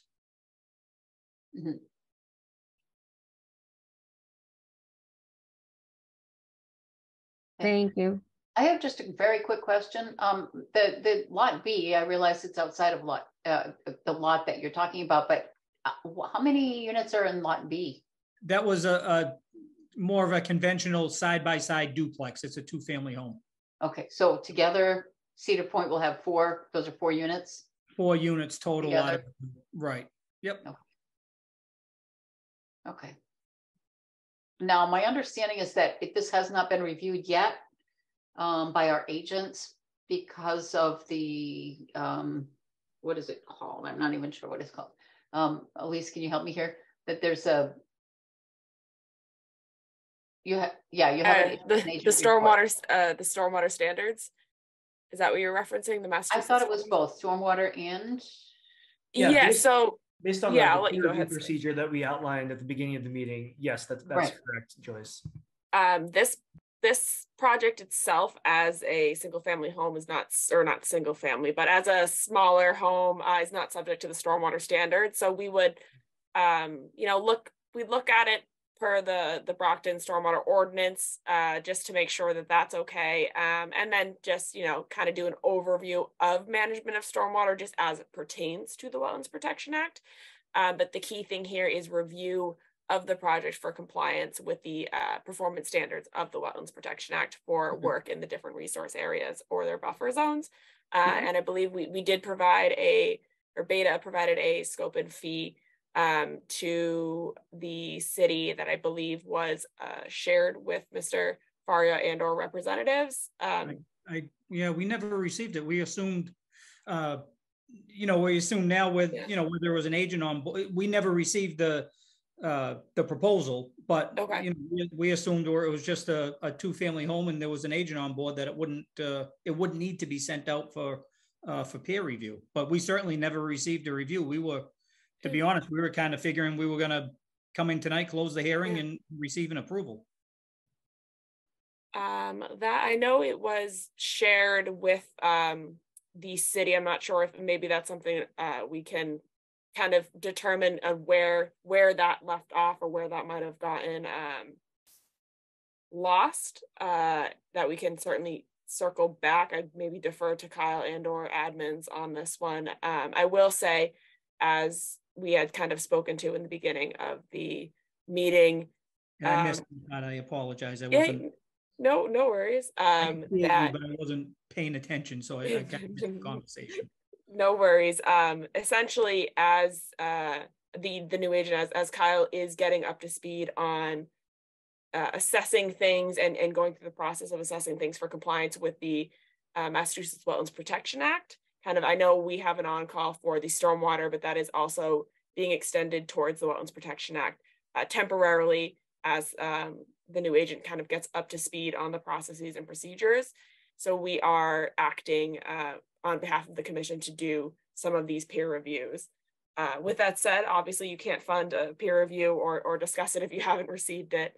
Um, And as a commission, yeah, as a commission. I don't feel comfortable without having some of our, one or two of our, our, our agent or a consultant agent actually going out and evaluating um, the plans and making sure that everything is, you know, Certainly, we- usually we defer to what the agent has to say to, to provide us with some, um, you know, important. I, information. I, it was just based on what we've done in the past, Madam Chair. If it was a Right, smaller Right. project like this, the agent would review it. If it was a larger project, uh, you know, with drainage and stormwater, then that always got uh, sent out to typically to Beta for peer review. So we were just assuming that, that same thing, but I, I totally understand, uh, you know, Mr. Holden being, uh, you know, getting up to speed with, uh, you know, with, with what's done and, and having the Good. opportunity to do that. we So, appreciate that very much.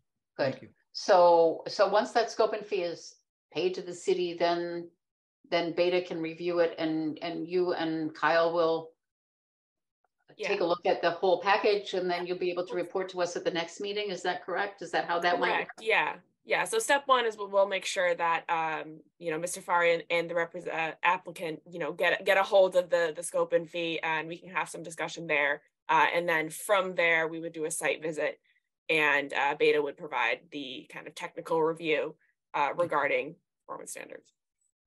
Yeah, so it's performance standards for both wetlands and stormwater if stormwater is necessary. Yeah, to, to the Yeah, but in this- extent, Yeah, uh, necessary to review per the, Oh, yeah. the Wetlands Protection Act as Okay. far as. I just had a very quick question because I'm, I'm really not sure. I'm, I feel a little hazy about it. So the building, now, prior to this, that was a, was that a green space? It was, You know? Yeah, uh, essentially a wooded lot. It, it Yeah. wasn't, you know, it was really, it was overgrown, to be honest with you, Madam Right, right.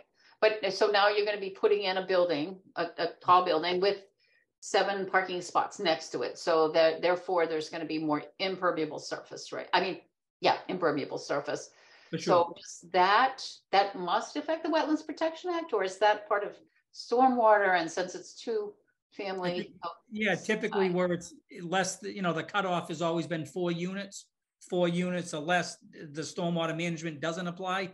Uh, Most cities and towns in Brockton, even before uh, they started enforcing the Brockton stormwater bylaw, most right. cities and towns ask us to at least infiltrate the roof runoff, which we've done in this case. Just about everybody asked you to, to put Right. in a- a drainage system to handle the roof runoff to kind of yeah, the parking that, pieces. yeah, Yeah, the parking. parking, in this case, the parking's a little bit out of the ordinary, I guess, than what you would see. But to be honest with you, it's no different than if we had two, you know, a driveway on the left and a driveway on the right. The impervious area would probably be about the same as what I have on this driveway. So it's, it looks bigger, but it's not that much difference. But that's, uh, that's typically what we do, Madam Chair. It's just a, a system for the roof runoff. So does that have to go in front of the Brockton stormwater, whatever now, or does that under our purview? That is something, um, and actually, I, I can let you speak to that. Uh, sorry, Mr. Faria, if you'd like. Uh, I don't know.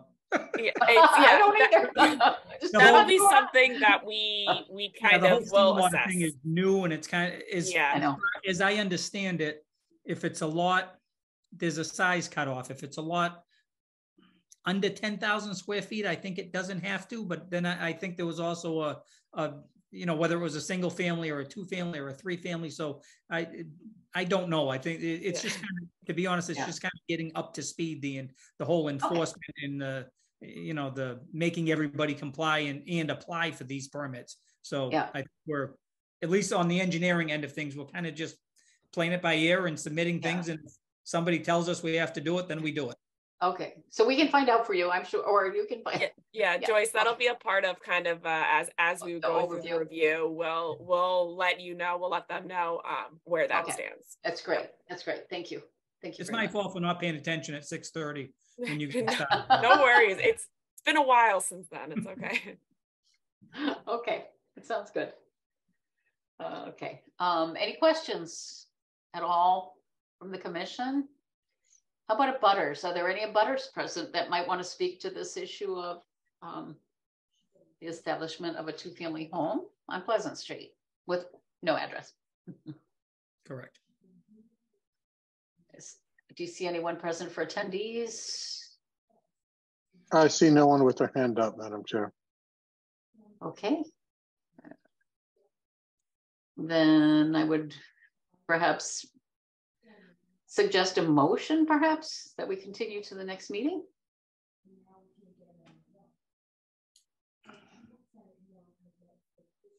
I entertain a motion, please. Sure, I make a motion to continue, um, the, a notice of intent, uh, for Pleasant Street to a d- two-family dwelling to the next meeting, um, in June twenty-first, twenty twenty-three. Okay. I Motion's been made- second, motion's been made and seconded. A roll call vote, please, uh, for, Thank you. uh, no- for an- a continuation to the next meeting. Biechler, aye. Curtis, aye. Voorhis, aye. Mr. Ferry, we'll see you next month. Thank you, Madam Chair. Madam Chair, if I could just have one second, I also have number ten on your agenda. You'd like Uh, us to take out, take this out of order? No, certainly not, but I, I completely forgot about sending Isaiah and Road a continuance request. I, I hit him with an email Oh, for the when you VA? started the meeting like at, at six thirty or so, I hit him with an email, but where, just to give you a quick update, it, it's been continued a whole bunch of times, but we've been working back and forth with Beta and we're actually going out to the site on Friday uh, to dig a test pit that Beta wanted. So that's kind of just holding things up. So if I could get a continuance to that June meeting as well, hopefully by then we'll uh, be all set with Beta and be ready to, to bring it before you folks. Commissioners? You okay Yeah, with that? Yeah, Okay, entertain a motion, please, to continue uh, in nine forty Belmont VA Hospital Fueling Station. I entertain that motion. I'll make a motion to continue nine forty Belmont Street, the VA hospital to the next meeting, June twenty-first, twenty twenty-three. second, second, Motion's been made and seconded. Roll call vote, please. Biechler, aye. Curtis, aye. Voorhis, aye, we will see you in June, Mr. Faria. Thank you very much, Commission. Have a good night. Okay, bye-bye.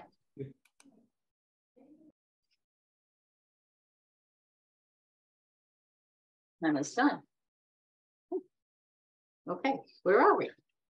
Uh, huh. Okay, we have another notice of intent. Um, ninety-seven Ames Street. Let's see, this is a new hearing, I believe. We need to confirm the file number and abutter notification. Uh, Road Isaiah, We did Please. receive abutter notification. About a notifications are I done, got those. file number. You're muted, Elise. Ah, I've been so good about it. I Uh, we, do, we do have a DEP file number, uh, and there is no technical comments from Mass DEP. Okay, thank you. Thank you. Thank you. So this would be Coneco Engineers, I believe. Uh, do we have a representative present? For ninety-seven Ames Street, a substation for, Looks Oh. like we do. Mr. Toohill. Mr. Toohill disappeared. Is Mr. Toohill? Oh, there he is. Okay.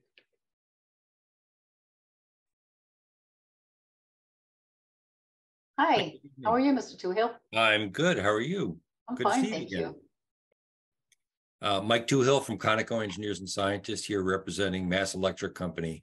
This is an MCP project. This is a cleanup at the substation at 97 Ames Street uh, under the MCP. So there is an LSP involved uh, on the project. Um, there's lead contamination in the soil within the fenced area of the substation, just outside of the the the electrified area, but still on the substation property.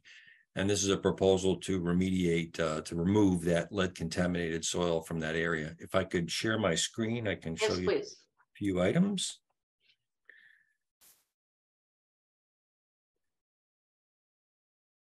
So this is the, this is a substation property which is outlined in red. Um, Trout Brook runs up to this point and then it runs through a very long culvert.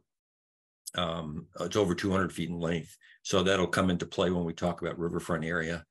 Um, the contaminated area, I don't know whether you can see my cursor, but it's, it's up, up in this area here. Uh, and I'll show you that in more detail on another graphic in a second.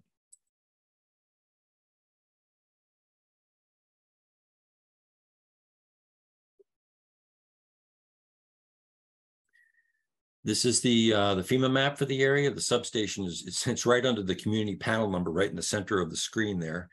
Um, and as you can see, uh, the substation property, Trout Brook backwater um, floodplain encompasses most of the substation property. So this Hmm. work is within the 100 year floodplain.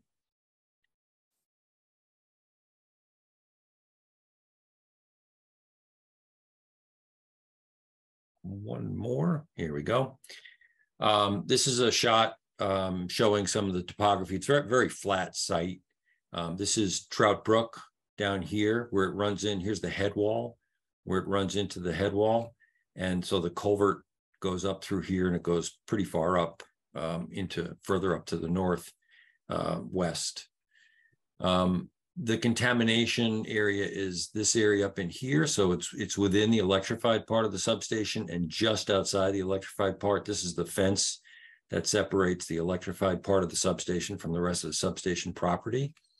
Um, on this graphic, we didn't show the floodplain because it basically encompasses everything across here. So all of this work is within bordering land subject to flooding. Um, Trout Brook does have riverfront, and because it runs through a culvert more than 200 feet in length, uh, you draw a perpendicular line across the edge of the uh, end of the culvert. And so riverfront is actually down this direction away from the work. Same thing with the buffer zone um, for the brook. Uh, the, 20, the, the 100 foot buffer zone is uh, down in this direction. So we have a 25 foot riverfront area and a 100 foot buffer zone. Uh, because this is floodplain up here, it's in a resource area. So I didn't draw uh, buffer zone up in that area because it's within the resource area. Um, that's about it. So what they're going to do is they're going to dig down. Um, we've done a bunch of testing in this area over the years. Um, it's all lead contamination. It's it's non-leachable lead, but they want to get it out of there. Uh, National Grid, uh, Mass Electric wants to get this out of there. Um, it's about 1,200 square feet is the total area of excavation. The total depth um, is five to 15 feet, uh, and it varies throughout the area. And what they do is as they excavate down, they test and, and make sure they get down below MCP standards, and then they stop the excavation at that point. They will then backfill this area and uh, pardon me, that's my mother, and she doesn't understand about night meetings. um, I call she called a little while ago and I said, I can't talk to you. anyway, um, so this is the excavation area, five to 15 feet in depth. Um, so the, the volume that's going to come out varies quite a bit. It's like 270 to 670 cubic yards. So quite a big variance. And that really depends upon the testing with, with the LSP on site. Like I said, they'll then backfill this area back to existing grade. So there's no effect on bordering land subject to flooding, um, either during the process or uh, following the process. It'll be at the exact same grades as it is now. Mhm. Um, I can leave this up or stop sharing, however you prefer, Madam Chair. I think I'm fine. Uh, Okay. Commissioners, do you want to keep it up there? Oh, okay, I can always put it back up. okay, thank you. When do you plan on doing the um excavating and backfilling? Is that gonna be during uh?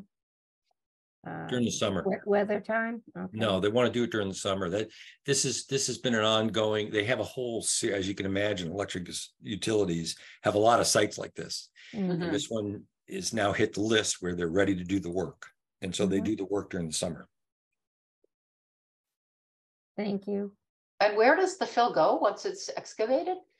It goes depending upon the lead levels. It goes either to an approved um, landfill under the MCP, or if it's high enough, there are actually facilities that heat treat the Mhm. soils to remove the lead, but it all gets taken off site and remediated.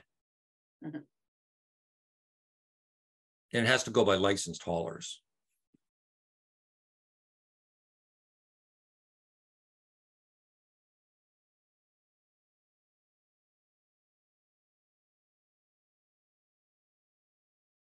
Now, um, I believe we do not have an agent report. Is that correct?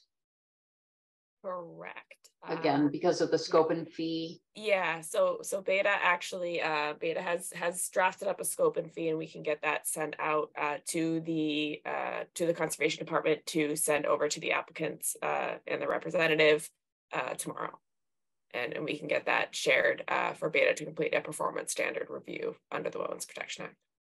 And there will be time to finish that before the next meeting, is that correct? That you'll, you'll have a, an agent report. Yeah, If it's, by the next if it's meeting? funded, uh, if, if it's funded in a timely manner, um, then yes. Okay. Mr. Toohill, do you think there'll be a problem with that? I will ask my client. There, Yeah. there are no stormwater, there are no stormwater issues. It's Yeah. basically It's- digging a hole and filling the hole back in again. Yeah, it's wetlands, yeah, Right. It's, it's in the floodplain. It's not in any Sure. other resource area. sure, sure. Okay. Um. I personally don't feel comfortable as, as a commissioner, um, evaluating this un- unless we've had an agent report from, from the city of Brockton, so if we can go forward with that and Yeah, possibly will tell my continue to the client next that. meeting, that would be wonderful. So aye'd entertain a motion, please, to continue to the next meeting. I make a motion to continue ninety-seven Ames Street Substation, um, excavation to the June twenty-first meeting. Second, Okay, motion's been made and seconded. Roll call vote, please. Biechler, I. Curtis, aye. Voorhis, aye. Mr. Toohill, we will see you then. Thank you. Good seeing you again. See you next month. Thank you. Thank you.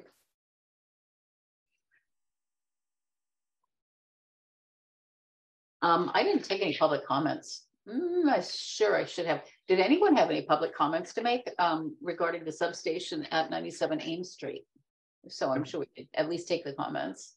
Yeah, I believe we do have someone that wishes to make public comment. John, um, I'm going to promote you to a panelist and we'll see. I didn't see a hand up. John, Well, I I spoke to him earlier today. Um, John McMahon? Yeah. Sorry, I should have had him speak while the, while the applicant was here. I'm sorry. That was my fault. What we can also do too is, is, um, if, if we let them speak to it, um, you know, at, at the next meeting, make that, um, information that was shared available to the applicant Yes, representative so that they're aware. Of course. okay, Mr. John, uh, you're muted, uh, but if you want to unmute, uh, you can have five minutes to discuss your thoughts on this project. Mr. McMahon?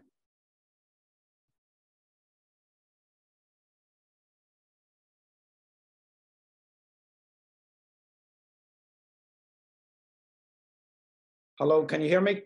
Yes. Thank you very much for taking my, uh, my comments here tonight.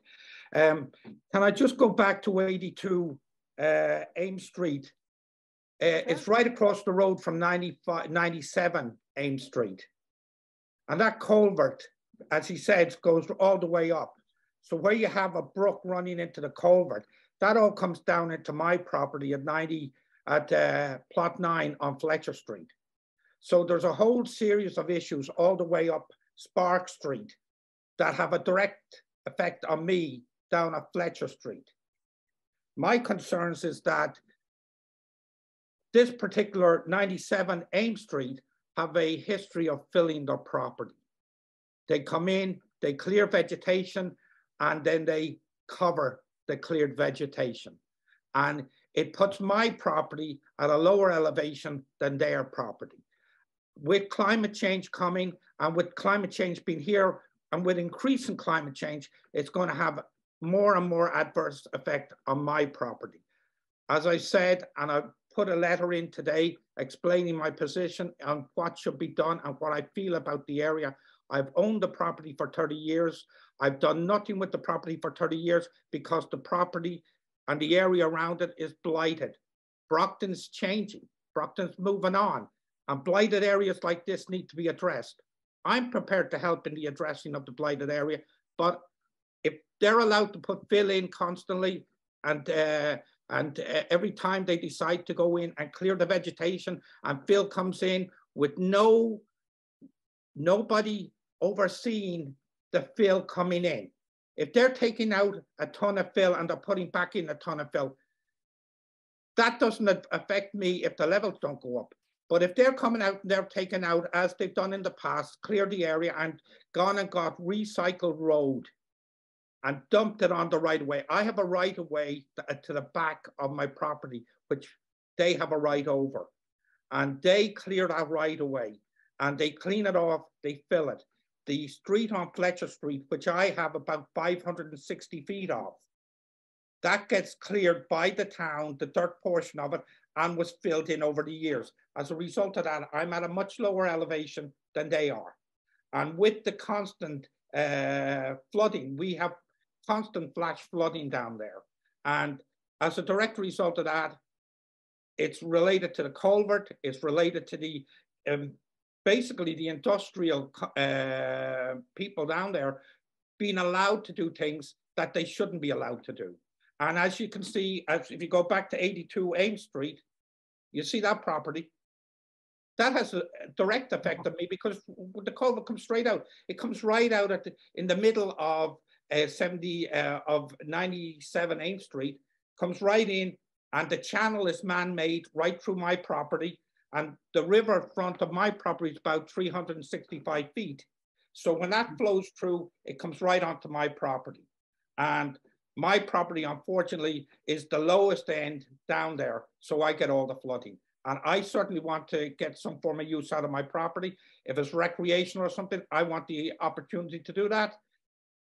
The reality of the situation is I won't be allowed to do it if it constantly gets floods every time. They go in and they, they do repairs. I was very upset that the town allowed them put a wall around their equipment, which is roughly 10,000 square, 10,000 uh, square foot of a, a 200 and, a 275 foot length fence by 300 foot fence. All that runoff comes into my property. I'm bullseye down there. So mm-hmm. um, that's happened previous. I honestly thought that the commission would keep everybody's best interest out there. Didn't happen. So now I'm here tonight and I'll be here every night that there's an issue down there on Spark Street, that there's an issue down there on Ames Street, because there are issues down there and they all end up in my yard and it ends up in flash flooding in my yard. I can't, I can't even begin to imagine how frustrating that must be for you, Mr. McMahon. Do- Yeah, I'm put- sorry about being frustrated, but I'm always no, no, frustrated. no, I don't blame come you. Talk I don't this blame you. property. Have you, have you put this in, into writing and I sent? it? gave the letter today. Yeah, Okay, so good. we've And- and- uploaded, we uploaded his comments in the letter, uh, are on the Google Drive, so the commission can review that after the meeting. We'll have a chance to look at But- that. And Mr. McMahon, I know that um, when Mr. Toohill spoke, he spoke of removing a certain amount and then putting back a certain, just removing the lead, so that way there isn't any lead in that soil, and then replacing it with clean fill and then keeping it at grade. So, That's what they said. I understand that. That's what they Yeah. said. But that's not the history. And I'm I'm going on history, not on what they say. And the history is, is that the town give the approval and then they take out whatever they take out, but they put back, they have a history of putting back more in than what they're actually taking out. How Mhm. are you going to monitor that? well, we certainly can, I, okay, we take, we'll certainly take everything that you've said into account and we will um, follow up on that, I'm sure. I, I've dealt with it for thirty years. If you look at the, if you go down and do a, uh, on the right way that runs along the back of my property, you go down and do a soil test on that, you, you'll find other types of soil that is not supposed to be there. Or you to come down to my right way and do tests on my right of way, you'll find it, you'll find the soil. I know you don't want to do it, but you'll find it. Have you ever addressed it to the zoning department or? Uh, I've addressed it to a number of people over the last thirty years. Mhm. I have addressed it. I have addressed it, especially when the flood, pla- when you're coming in and you're bringing in the, uh, the flood, uh, basically the runoff in relation to taxes on land. I spoke to the DPW about it and all. They Mhm. told me that they're not going to put any more, um, basically dirt on the, on Fletcher Street down there. Mhm. But, uh, it's, it's, it's been a long time going and I've let it go because it, it's, it's, it's, it's, the area has been blighted for years. Mhm. Slowly but surely, I've, every time I'm going in, for thirty years ago when I came into this town, it was, it was miserable. It was depressing coming in. It's slowly but surely moving up. Mhm. It's in, but right now, as far as I'm concerned, enough is enough. If these big industrials want to come in, let them do them to the standard and let them be held to the standards they're supposed to be held to. Mhm. Yep. That's what, uh, what I'm looking for. Nothing It sounds reasonable. Thank you. Thank you very much. And we'll certainly um, take a look at what you've submitted and, and make sure that we follow up on that. Thank you. Okay, and I will make sure you follow up to me. Okay, thank you, Mr. Okay. McMahon. Have a lovely night. Thank you. Thank you.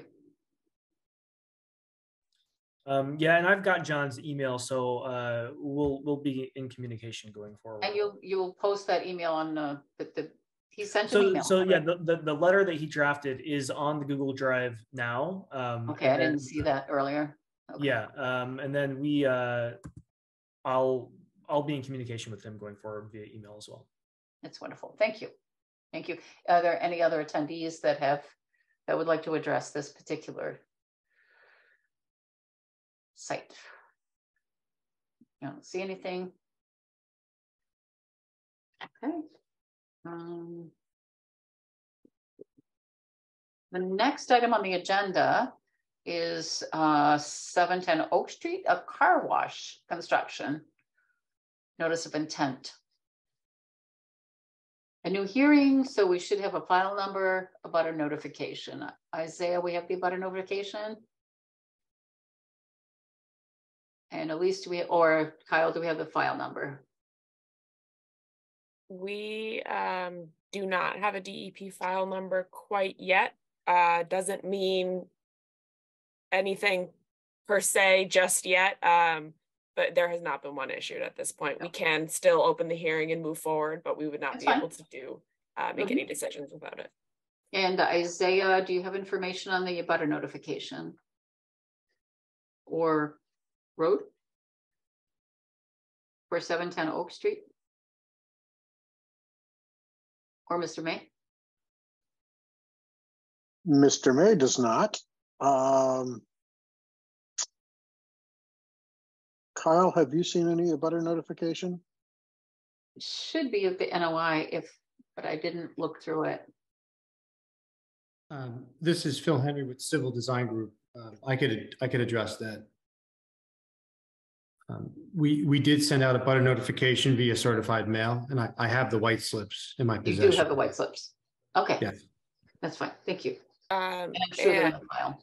Yeah, I was gonna say, e- essentially what we need to do, um, you know, is, is just confirm that the certificates that were sent match the addresses for the abutter list. That is something that we do need to confirm prior to opening the hearing. Okay. Um, Um, so that is, that, that's, um, let's see, I mean, I, I, I have them here. okay.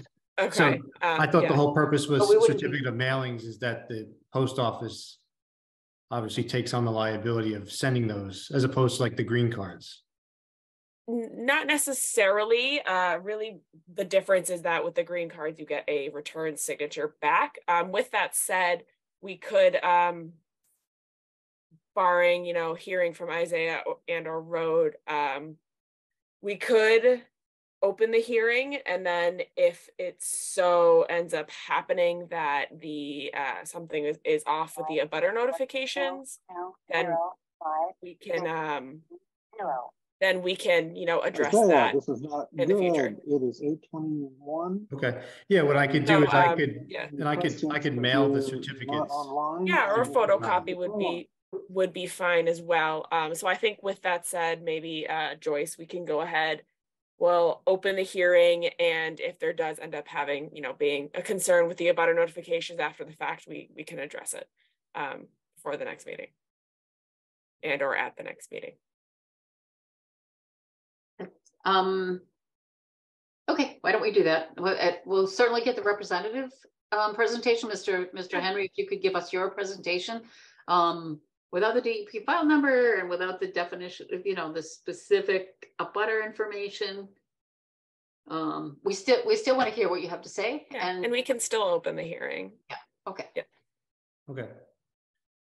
All right, excellent. I'll share my screen. I believe uh, my client, the applicant, Chris Fazio, is probably also in the, in the waiting room if, if um, somebody could let him in just to answer any technical or uh, operational questions, should you have His any. hand is up. Mhm. Kyle, can you um admit him as a, as a panelist? Uh, yes, I'm trying to now. Thank Yep, you. I think he should be in now. Okay. Can everyone see the screen? Yes. Okay, perfect. Um, so what I'll do is I'll give a brief overview of the site, uh, the site layout, uh, where, where we are, um, where the wetlands are and what we're doing for stormwater on a, on a high level, and then I'm happy to answer any, any specifics.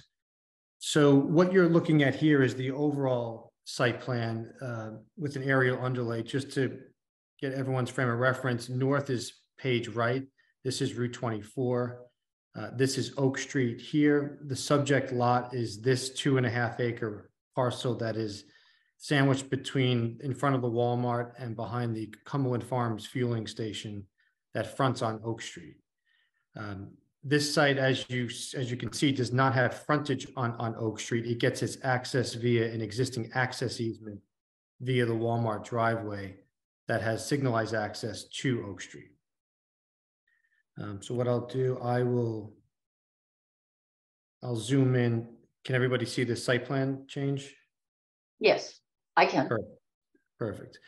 Um, so what you're looking at here is the site plan and I, the site has been rotated such that north is facing down now 90 degrees. Cumberland Farms is, is off the page at the bottom. Walmart is off the page up up at the top. And that existing access drive is off to the left here where, where, where my mouse is pointing. Um, so the, as you can see here, we're not utilizing the, the, the, the entire site. As I mentioned, the site's two and a half acres. It's mostly of um, uh, vegetated lawn and then supplemental of the Walmart um, uh, spaces uh, associated with the Walmart uh, facility. The, the proposed construction or the proposed development includes, I'll zoom in here, includes the construction of a 4,500 auto wash facility that um, you, you, you enter the facility, you, you enter the site via the existing wa, uh, the, the existing driveway uh, right here on the northerly end. Uh, there's 12 vacuum spaces immediately to your left. And then you can enter the car wash by three ways. You could enter it on, on this inside turn here and go into each one of these bays here where essentially this is a bay that where you park and the washing wand kind of goes around your car. So you don't move through this uh, section of the building. The opposite is true of, of this section of the building where you get hooked onto like sort of a, of a conveyor and get pulled through the tunnel. Um, as you can see here, each one of these driveways, each one of the exit lanes have its has its own driveway that dumps you back onto this existing driveway. Um, so essentially, after the vacuums, it's it's one way clockwise, um, counterclockwise circulation around the building, whether you're going through the car wash or through the bypass lane. Mhm.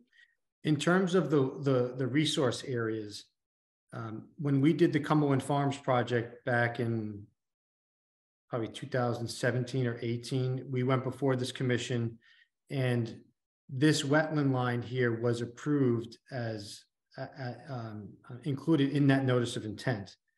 Fast forward to four years ago, or about one year ago, when when this project was started, we had the same wetland scientists go back out to the site and verify that the resource um, has not changed.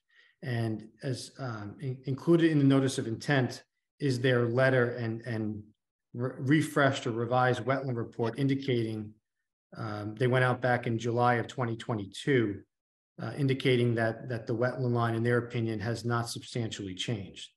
So what you see here in blue per the local regulations, I believe uh, the buffer zones and the wetlands need to be a, a non-black color. Um, what you see here is the, is the resource area and then the 25 foot buffer, the 50 foot buffer, and then the 100 foot buffer. Uh, to the to the easterly side, there there's also wetlands off locus here. Same same exercise. Uh, they verified that those wetlands have not substantially changed since uh, 2018.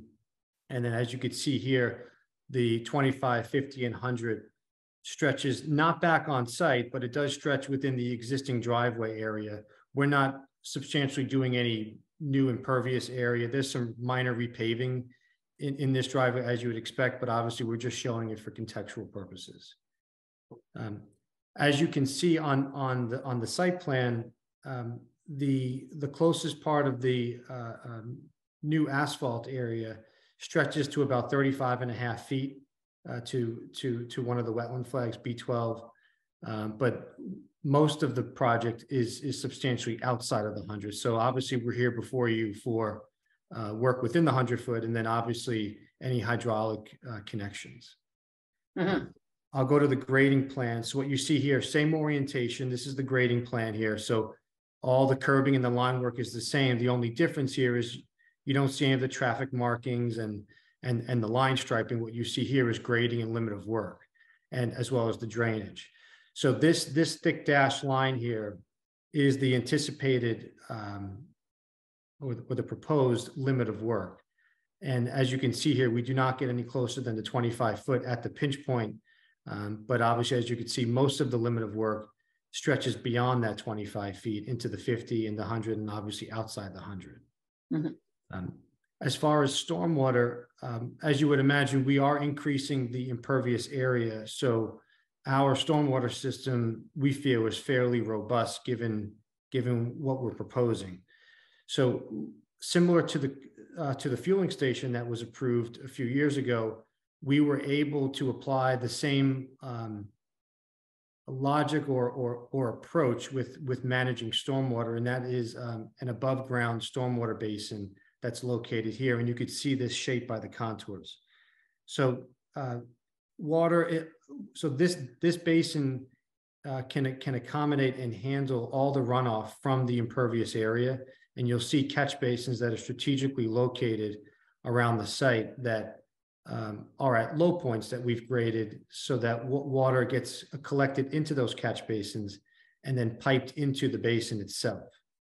Uh, This basin, we feel, uh, complies with not only the state DEP regulations, but also the, the local, the new local stormwater regulations, including pretreatment as it relates to TSS, uh, phosphorus and nitrogen re- uh, removal. And we do that by, there's a provision in the local stormwater ordinance that says if we, if you statically hold the one inch storm below the lowest orifice out of that um, outlet control structure of your basin, it, you know, you're deemed to meet ninety percent TSS removal and sixty percent nitrogen. So um, this basin does comply with that. I, I realize that the commission is probably going to recommend uh, a review, uh, and that is certainly fine. I just wanted to give you some highlights of of the stormwater approach uh, that that that that we encountered here. Um, so that that's basically the general overview. I'm I'm happy to answer any any specifics that you may have. Um, are there specific regulations governing car washes with the use of detergents and all of that kind of thing with phosphoruses and all of that? It's, are there specific regulations that mandate uh, know, certain requirements for that? Well, the well the car wash portion, the chemicals, the car wash cleaning chemicals, Yeah. that's part of that's part of a closed system. So that that is that is either going to get recycled or obviously go to the sewer. So that's not part of the stormwater portion. So the stormwater Yeah. portion is all exterior. That would be runoff and that kind of thing. Madam yeah, Chair, like ra- rainfall and and how we're managing um, oil from parked Yes. cars and and um, sediment uh, from the first flush so- and so on. Yes. uh, Madam Chair, any of the drainage that occurs inside the building is treated as um, uh, sanitary waste. So Okay. it needs, it'll be pre-treated and go to the sewer system. It does not go into um, the catch basin. Yeah. Okay, Mhm. but even, okay, I'm, I guess I'm just thinking of the little bits that are left on each car, but if you have hundreds of cars going through, there might be, you know, but. Okay, okay, Um, it's fine. j- j- just a formatting uh, question. I, I'm sharing my screen, but I, I've lost my video. Is that typical? Yes, it is. Okay. Um, Commissioners, any questions?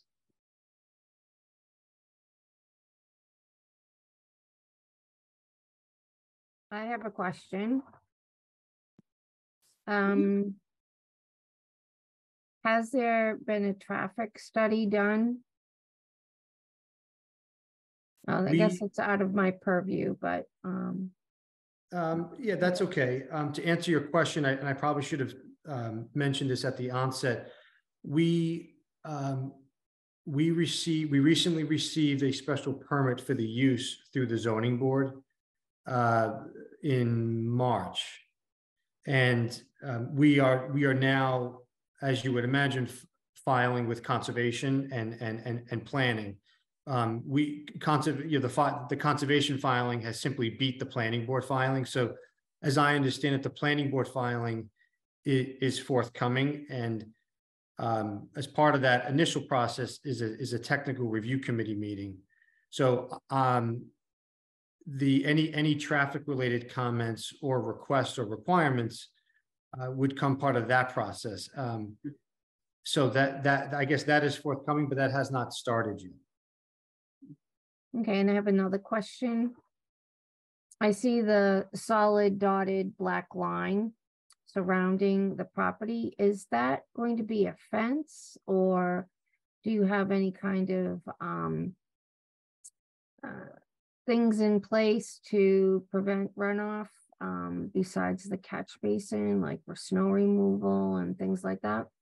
Yeah, that's a good question. Are you talking about this dash line, man? Yes, yes. Yeah, so no, that, that, that is an, that's an invisible line. That's, that Oh. is the anticipated limit of work. So that's, that's where, uh, the construction fence will be and, and the, and the wattles or the silt fence and, and, and hay bales, that, that's where th- those will be placed at the onset Mhm. of, of the site. In terms of, um, the only fence would be around the, the trash enclosure for obvious reasons, for aesthetic appeal, but also to make sure there's no uh, trash debris that, that gets blown into the wetland. Mhm. Um, as far as to answer your question about stopping stormwater, this, this site is, is, is completely curved. So there'll be a six inch reveal curved a- around, um, around the, around the entire um, asphalt area. And as you can see, some catch basins like here and here are, are with, are well within the pavement limits or not along the curb. So in these cases, we've graded them back into the site or into the middle of the drive aisle, whereas catch basins here and here are along the curb. But in either case, uh, either the stormwater is going to hit the curb and then um, run into the catch basins via the, these uh, flow arrows, which kind of help the contractor tell them that this is where the water's supposed to go.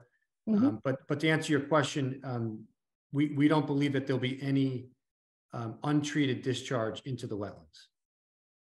Now, are you connecting to the Brockton sewer system for the, the dispensing of all the water that's produced in the car wash? And the Yeah, soap so, and all that? yes, Mhm. yeah, yeah, there will be, um, the answer is twofold. So we haven't, um, um, been in front of the TRC yet, but, but essentially, p- part of this, this project was, is gonna have a percentage of, of, of reclamation. So at every wash, a portion of that water will get recycled back into the system and a portion will overflow into the sewer system. So that's, that's a, that's an equation that obviously includes new water coming into the system. So we're gonna have that conversation with, with DPW on basically the water and sewer usages and then kind of fine tune that uh, after we have that discussion.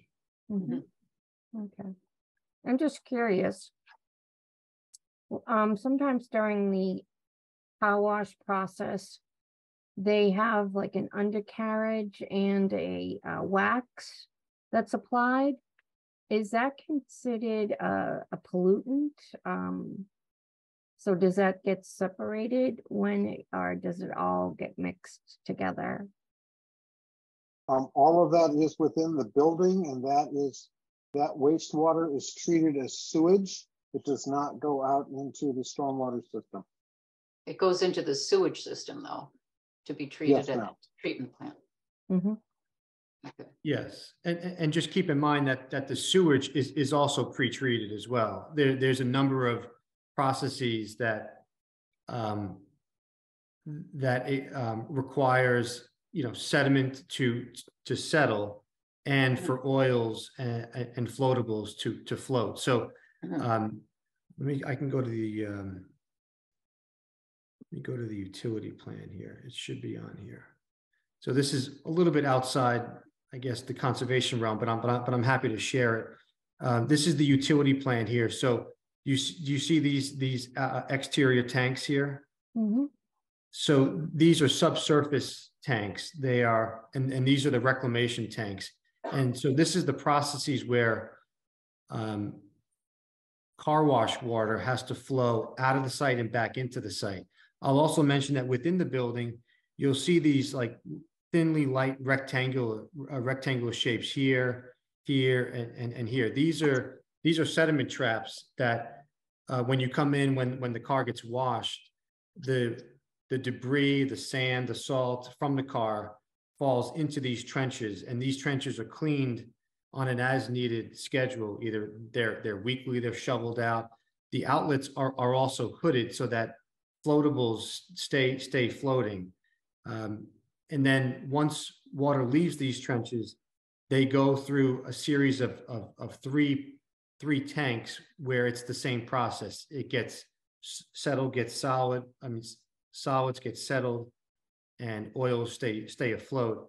And then either water is reintroduced back into the system or it goes into a final oil water separator and then gets into the sewage. So all, all of the um, sewage processes are, are governed by, you know, local and state regulations that, you know, just like other car washes in town that we'd have to adhere to.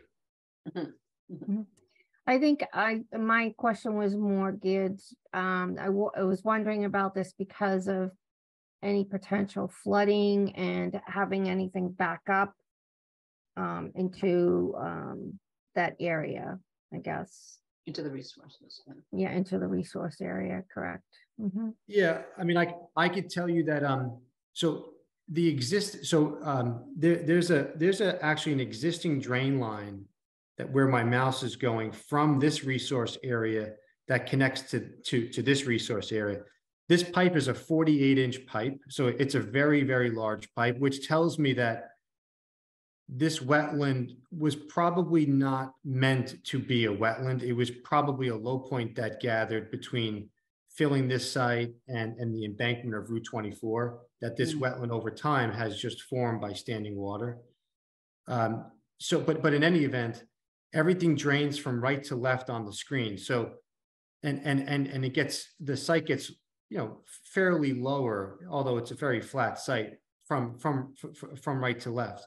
Also, this basin, should the, should say a hundred year storm occur, this basin can handle up to and including the hundred year storm for this site.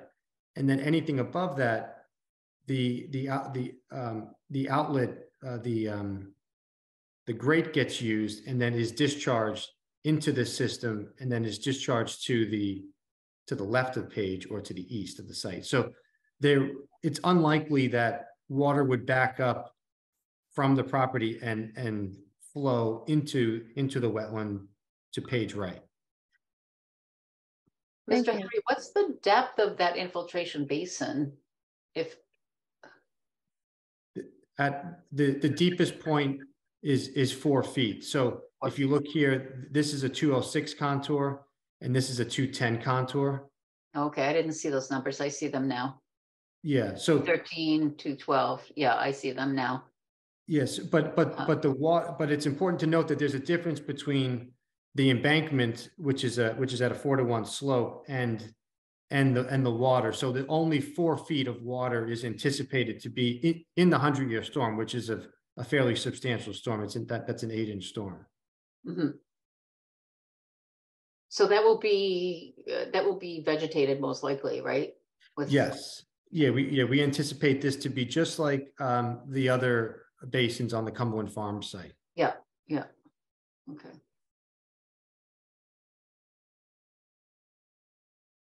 Okay. Well, once again, we don't have an agent report. Um, I assume that, that Beta will be sending a scope and fee. Yes, yep. Yeah, we do have a scope and fee uh, prepared and ready to go. So we'll we'll send that over to the conservation department to distribute to uh, Mr. Henry and, and Mr. Fazio uh, for peer review of the um, project for Massachusetts stormwater standards, the local Brockton uh, ordinance, as well as the performance standards under the Wetlands Protection Act for applicable buffer zones for the resource areas. Okay. And Isaiah is currently working on uh, double checking the uh, butter notification. Awesome. Okay, That sounds good. great. Good. Okay, yeah, and So I, that- and I'll, um, I'll, I'll, I, I could scan these in and send them to Kyle. Yeah. That would be Certified great. abutters, Yeah. okay. Yeah, Thank work. you. Thank you. That's great. Good. So I assume then that we, but there isn't much more that we can do right now until we have Correct. an agent report and we have those abutter notifications and DEP file numbers. So um, I would entertain then that perhaps um, unless anyone has anything else that they, yeah, Mr. Mr. Henry. Uh, yeah, I just have one more, I guess, a, a request, and this is maybe for, for Bob, uh, May, that if, if this, if this project obviously is going to go before planning board, if, if, is it possible to use the one peer review comment as it relates to stormwater for, for, for both conservation and planning board, just to simplify and streamline the review process? Um, yes, yes, it will. Okay. Thank you. Oh my God, my picture looks And terrible. quickly, Sorry, my Commission- camera's off. Mr. Fazio, do you have any questions or No, sounds good to me. commissioners? Mr. Holden? Uh, yeah, I believe Isaiah was trying to say something. So Isaiah. Oh, you I'm sorry, I didn't anything? see him. I No, didn't no see him. worries. No Hi, worries. I Isaiah. don't- How you doing? I was just Hello. taking a look at the application. I don't believe we did receive abutters notifications for this. Um, I see the addresses, but I don't, I don't remember seeing green, green. Yeah, so I think, thank you for the clarification. Uh, Mr. Henry will provide us with the certificates of mailing and um, if, if there ends up being that there's some sort of um, issue or discrepancy or, or something, that's something that we can address, um, you know, before the next meeting, we'll get that taken care of.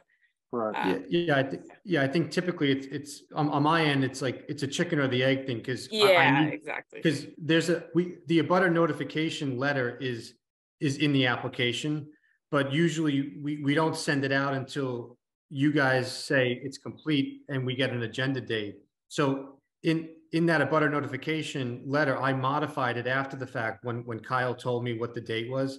So I, I added it to that letter and then sent it out to the, uh, addresses on the, on the, on, on the certified abutters list. So, and then typically these are done in person. I usually bring the green cards or the certificates in, in person. So, um, but, but I have them and, and I will scan them and send them to Kyle. All right. Yep. Great. Sounds good. Sounds good. Good. Thank you. All right, thank you. Okay, then I believe then I would entertain a motion, please, to continue to the next meeting. Make a motion to continue seven ten Oak Street to our next meeting on June twenty-first. Second, Motion has been made and seconded. A Roll call vote, please. Biechler, aye. Curtis, aye. Voorhis, aye. Gentlemen, we will see you next month. Thank you. Bye. Good. you. Thank you very much. We need another car wash. We do. Uh, VA hospital is done. Uh, now the agenda item number eleven is the enforcement order on Claremont Avenue. Um, a notice of intent and, yeah, bringing that up to date. Is an applicant here for that? Mr. Grady appears to be here. Yep. Hi, Mr. Grady.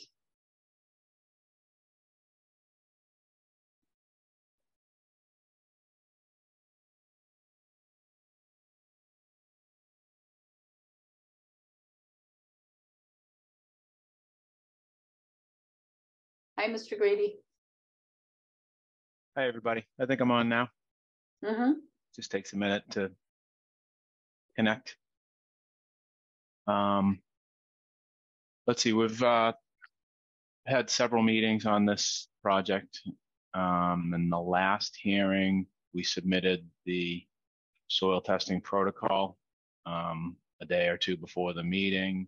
The commission um, did not have time to review the protocol and they, yeah, and you requested that we continue the hearing um, till tonight so that you'd have time to review the testing protocol. There was no other uh, outstanding items uh, that we didn't address. We've addressed every question uh, during every meeting. So I think the last item here is this testing protocol, and uh, Mhm. we're available for questions and discussion. I did review it with you. I went over it at the last hearing, but you didn't have time to dissect it and absorb Yeah. it. I've read through it, it seems, it seems fine. Um, agent report, Elise, did you want to comment? Yeah, so that essentially to to his point, um, on this, the only outstanding item was the, you know, get getting that soil uh fill, you know, testing protocol and um, I've also kind of, you know, gone through it and it it checks all the bosses bosses boxes uh, and addresses all of our concerns. Uh, and it does also include um a require or not a requirement but but a statement that they would send along uh, result of reporting as well i believe and you can correct me if i'm wrong mr grady um, but that those results would be shared with the commission Correct. um, awesome. otherwise the uh, massachusetts as far as massachusetts Wetland protection act is concerned they have addressed all of the performance standards concerns mass dep stormwater concerns uh, beta has you know gone through that peer review uh, and there was back and forth revisions were made. Um, so at this point, the applicant has addressed everything as far as um, you know the the regulations are concerned. Mhm. Commissioners, do you have any comments, questions? I read through it and I didn't have anything. Okay. Peggy?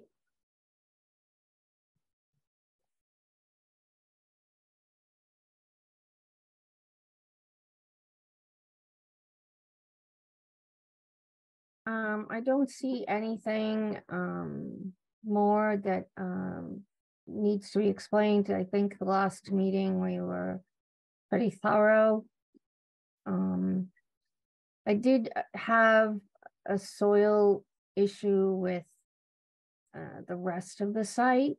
Um, Yeah. but, um, I guess Beta doesn't feel that, that that's necessary. Um, It's it's outside of the conservation's jurisdiction. right, okay. Yeah. All right. Then, um, then my questions have all been answered. Now, on the, on the soil protocol, um, did it, I didn't, s- did the soil protocol specifically say that we would receive um, copies of the results of your soil testing? Because I There didn't see that in the protocol. I, maybe I missed it somewhere, because I, I was thinking of perhaps making that a condition, a special condition. that could also be included as a special condition as well, just kind of as an added assurance. Um, I believe in the actual uh, protocol, there was a sentence, let's see. Uh, upon receipt of the soil and analytical da- analytical analytical data from the laboratory, Coneco will review the data and provide a summary report of the findings of the test pit sampling program. Uh, and then it will include X, Y, Z, um, and conclusions and recommendations. And so, you know, I, I guess it could be also read as a little bit more of a general statement so that they would, you know, provide the report, doesn't say to who, but we can clarify as a special condition. Yeah, I would personally appreciate that if we could do that for, as a, a special condition, that we would get copies of, specifically that we would get copies of the reports. definitely feasible.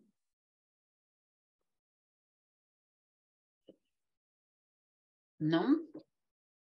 No other comments? Um, what about from the public?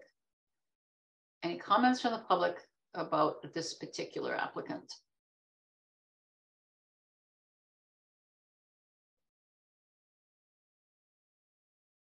I don't see any hands up. No hands up for um, No, ma'am. Okay. Uh, Then we need to determine whether or not to close the hearing. I entertain a motion. I make a motion to close the hearing of Claremont Ave map one eighty-one 42 Okay, the motion has been made to close the hearing. Second, I second the motion. Motion has been made and seconded. Uh, roll call vote. Biechler, aye. Curtis, aye. Voorhis, aye. So the um, hearing has been closed. Um, So the next motion would be to issue an order of conditions. um, With the special conditions, I believe that had been outlined in, in your last report. Did you want to just go over those very quickly? Elise? Yeah, absolutely. Yeah, it was the um agent revised kind of report that we provided while we were going through the, you know, interim Interim. process Yeah, yeah, and and adjustments. Um, but let's see, I just had it right here. Here we go. So essentially, the conditions were just like conditions that um Megan, uh, the prior agent, had also used, and I felt they were good conditions. Um, and they are also conditions that are echoed within the whole plan of this project. Um, but one is that a wetland scientist or other qualified professional will inspect restoration areas within the hundred foot buffer zone after completion of the initial plantings and seedings and at the end of the growing season for two successive growing seasons. Um, which I, I believe in the actual report, it does say three in their, in their kind of project filing. Um, and within ninety days of each inspection, a report will be submitted to Brockton Conservation. Uh, second condition is that at minimum, the report follow, the monitoring report following completion of the initial plantings and seeding within the restoration area shall be submitted to the commission before the issuance of a partial cer- certificate of compliance or certificate of compliance. Uh, and the monitoring report shall confirm species, health of species, as well as seed mix. And lastly, that the final monitoring report, uh, confirming compliance with the restoration plantings after two growing seasons including any replacement of species shall be committed, shall be submitted to the commission before the issuance of a full certificate of compliance. So kind of just echoing um, what was already planned for and brought forth in, in the uh, project proposal. And, And that final special condition would be that we would receive any soil testing results. Correct. Mr. Grady, okay with that? Yep. Okay. So I entertain a motion to uh, issue an order of conditions with those special conditions that were listed. I make a motion to issue an order of conditions with the special conditions outlined in the agent's revised report. For Claremont Ave map one eighty-one 42 I second. So that motion has been made and seconded. Roll call vote, please. Biechler, aye. Curtis, aye. Voorhis, aye. Order of conditions passes. Thank you. Thank you, Mr. Grady. Thank you, Thank you, everybody. Mr. Reedy. And I'm sure everyone in the neighborhood would be very happy to see some grassy area in the, Yep, Yeah. it'll, it'll look good when we're done. I'm sure it will look beautiful. It'll Thank be you. like a field, a big field. Yep. Thank you. Um, okay, thanks, everyone. Thank you for your good night. time. And I, Bye-bye. Okay, so, um, rather than closing the meeting now, I believe we have to, um, enter into an executive session. Um, Laura, Vicky, you okay with time scheduling for that for a period of time? Yep. Yep. Okay, as an open meeting may have a detrimental effect on the litigating position of the Conservation Commission. We're gonna enter into an executive session. We will not return to an open session. Under exemption number three of the open meeting law, Mass General Law, Chapter thirty A, Section twenty-one A three.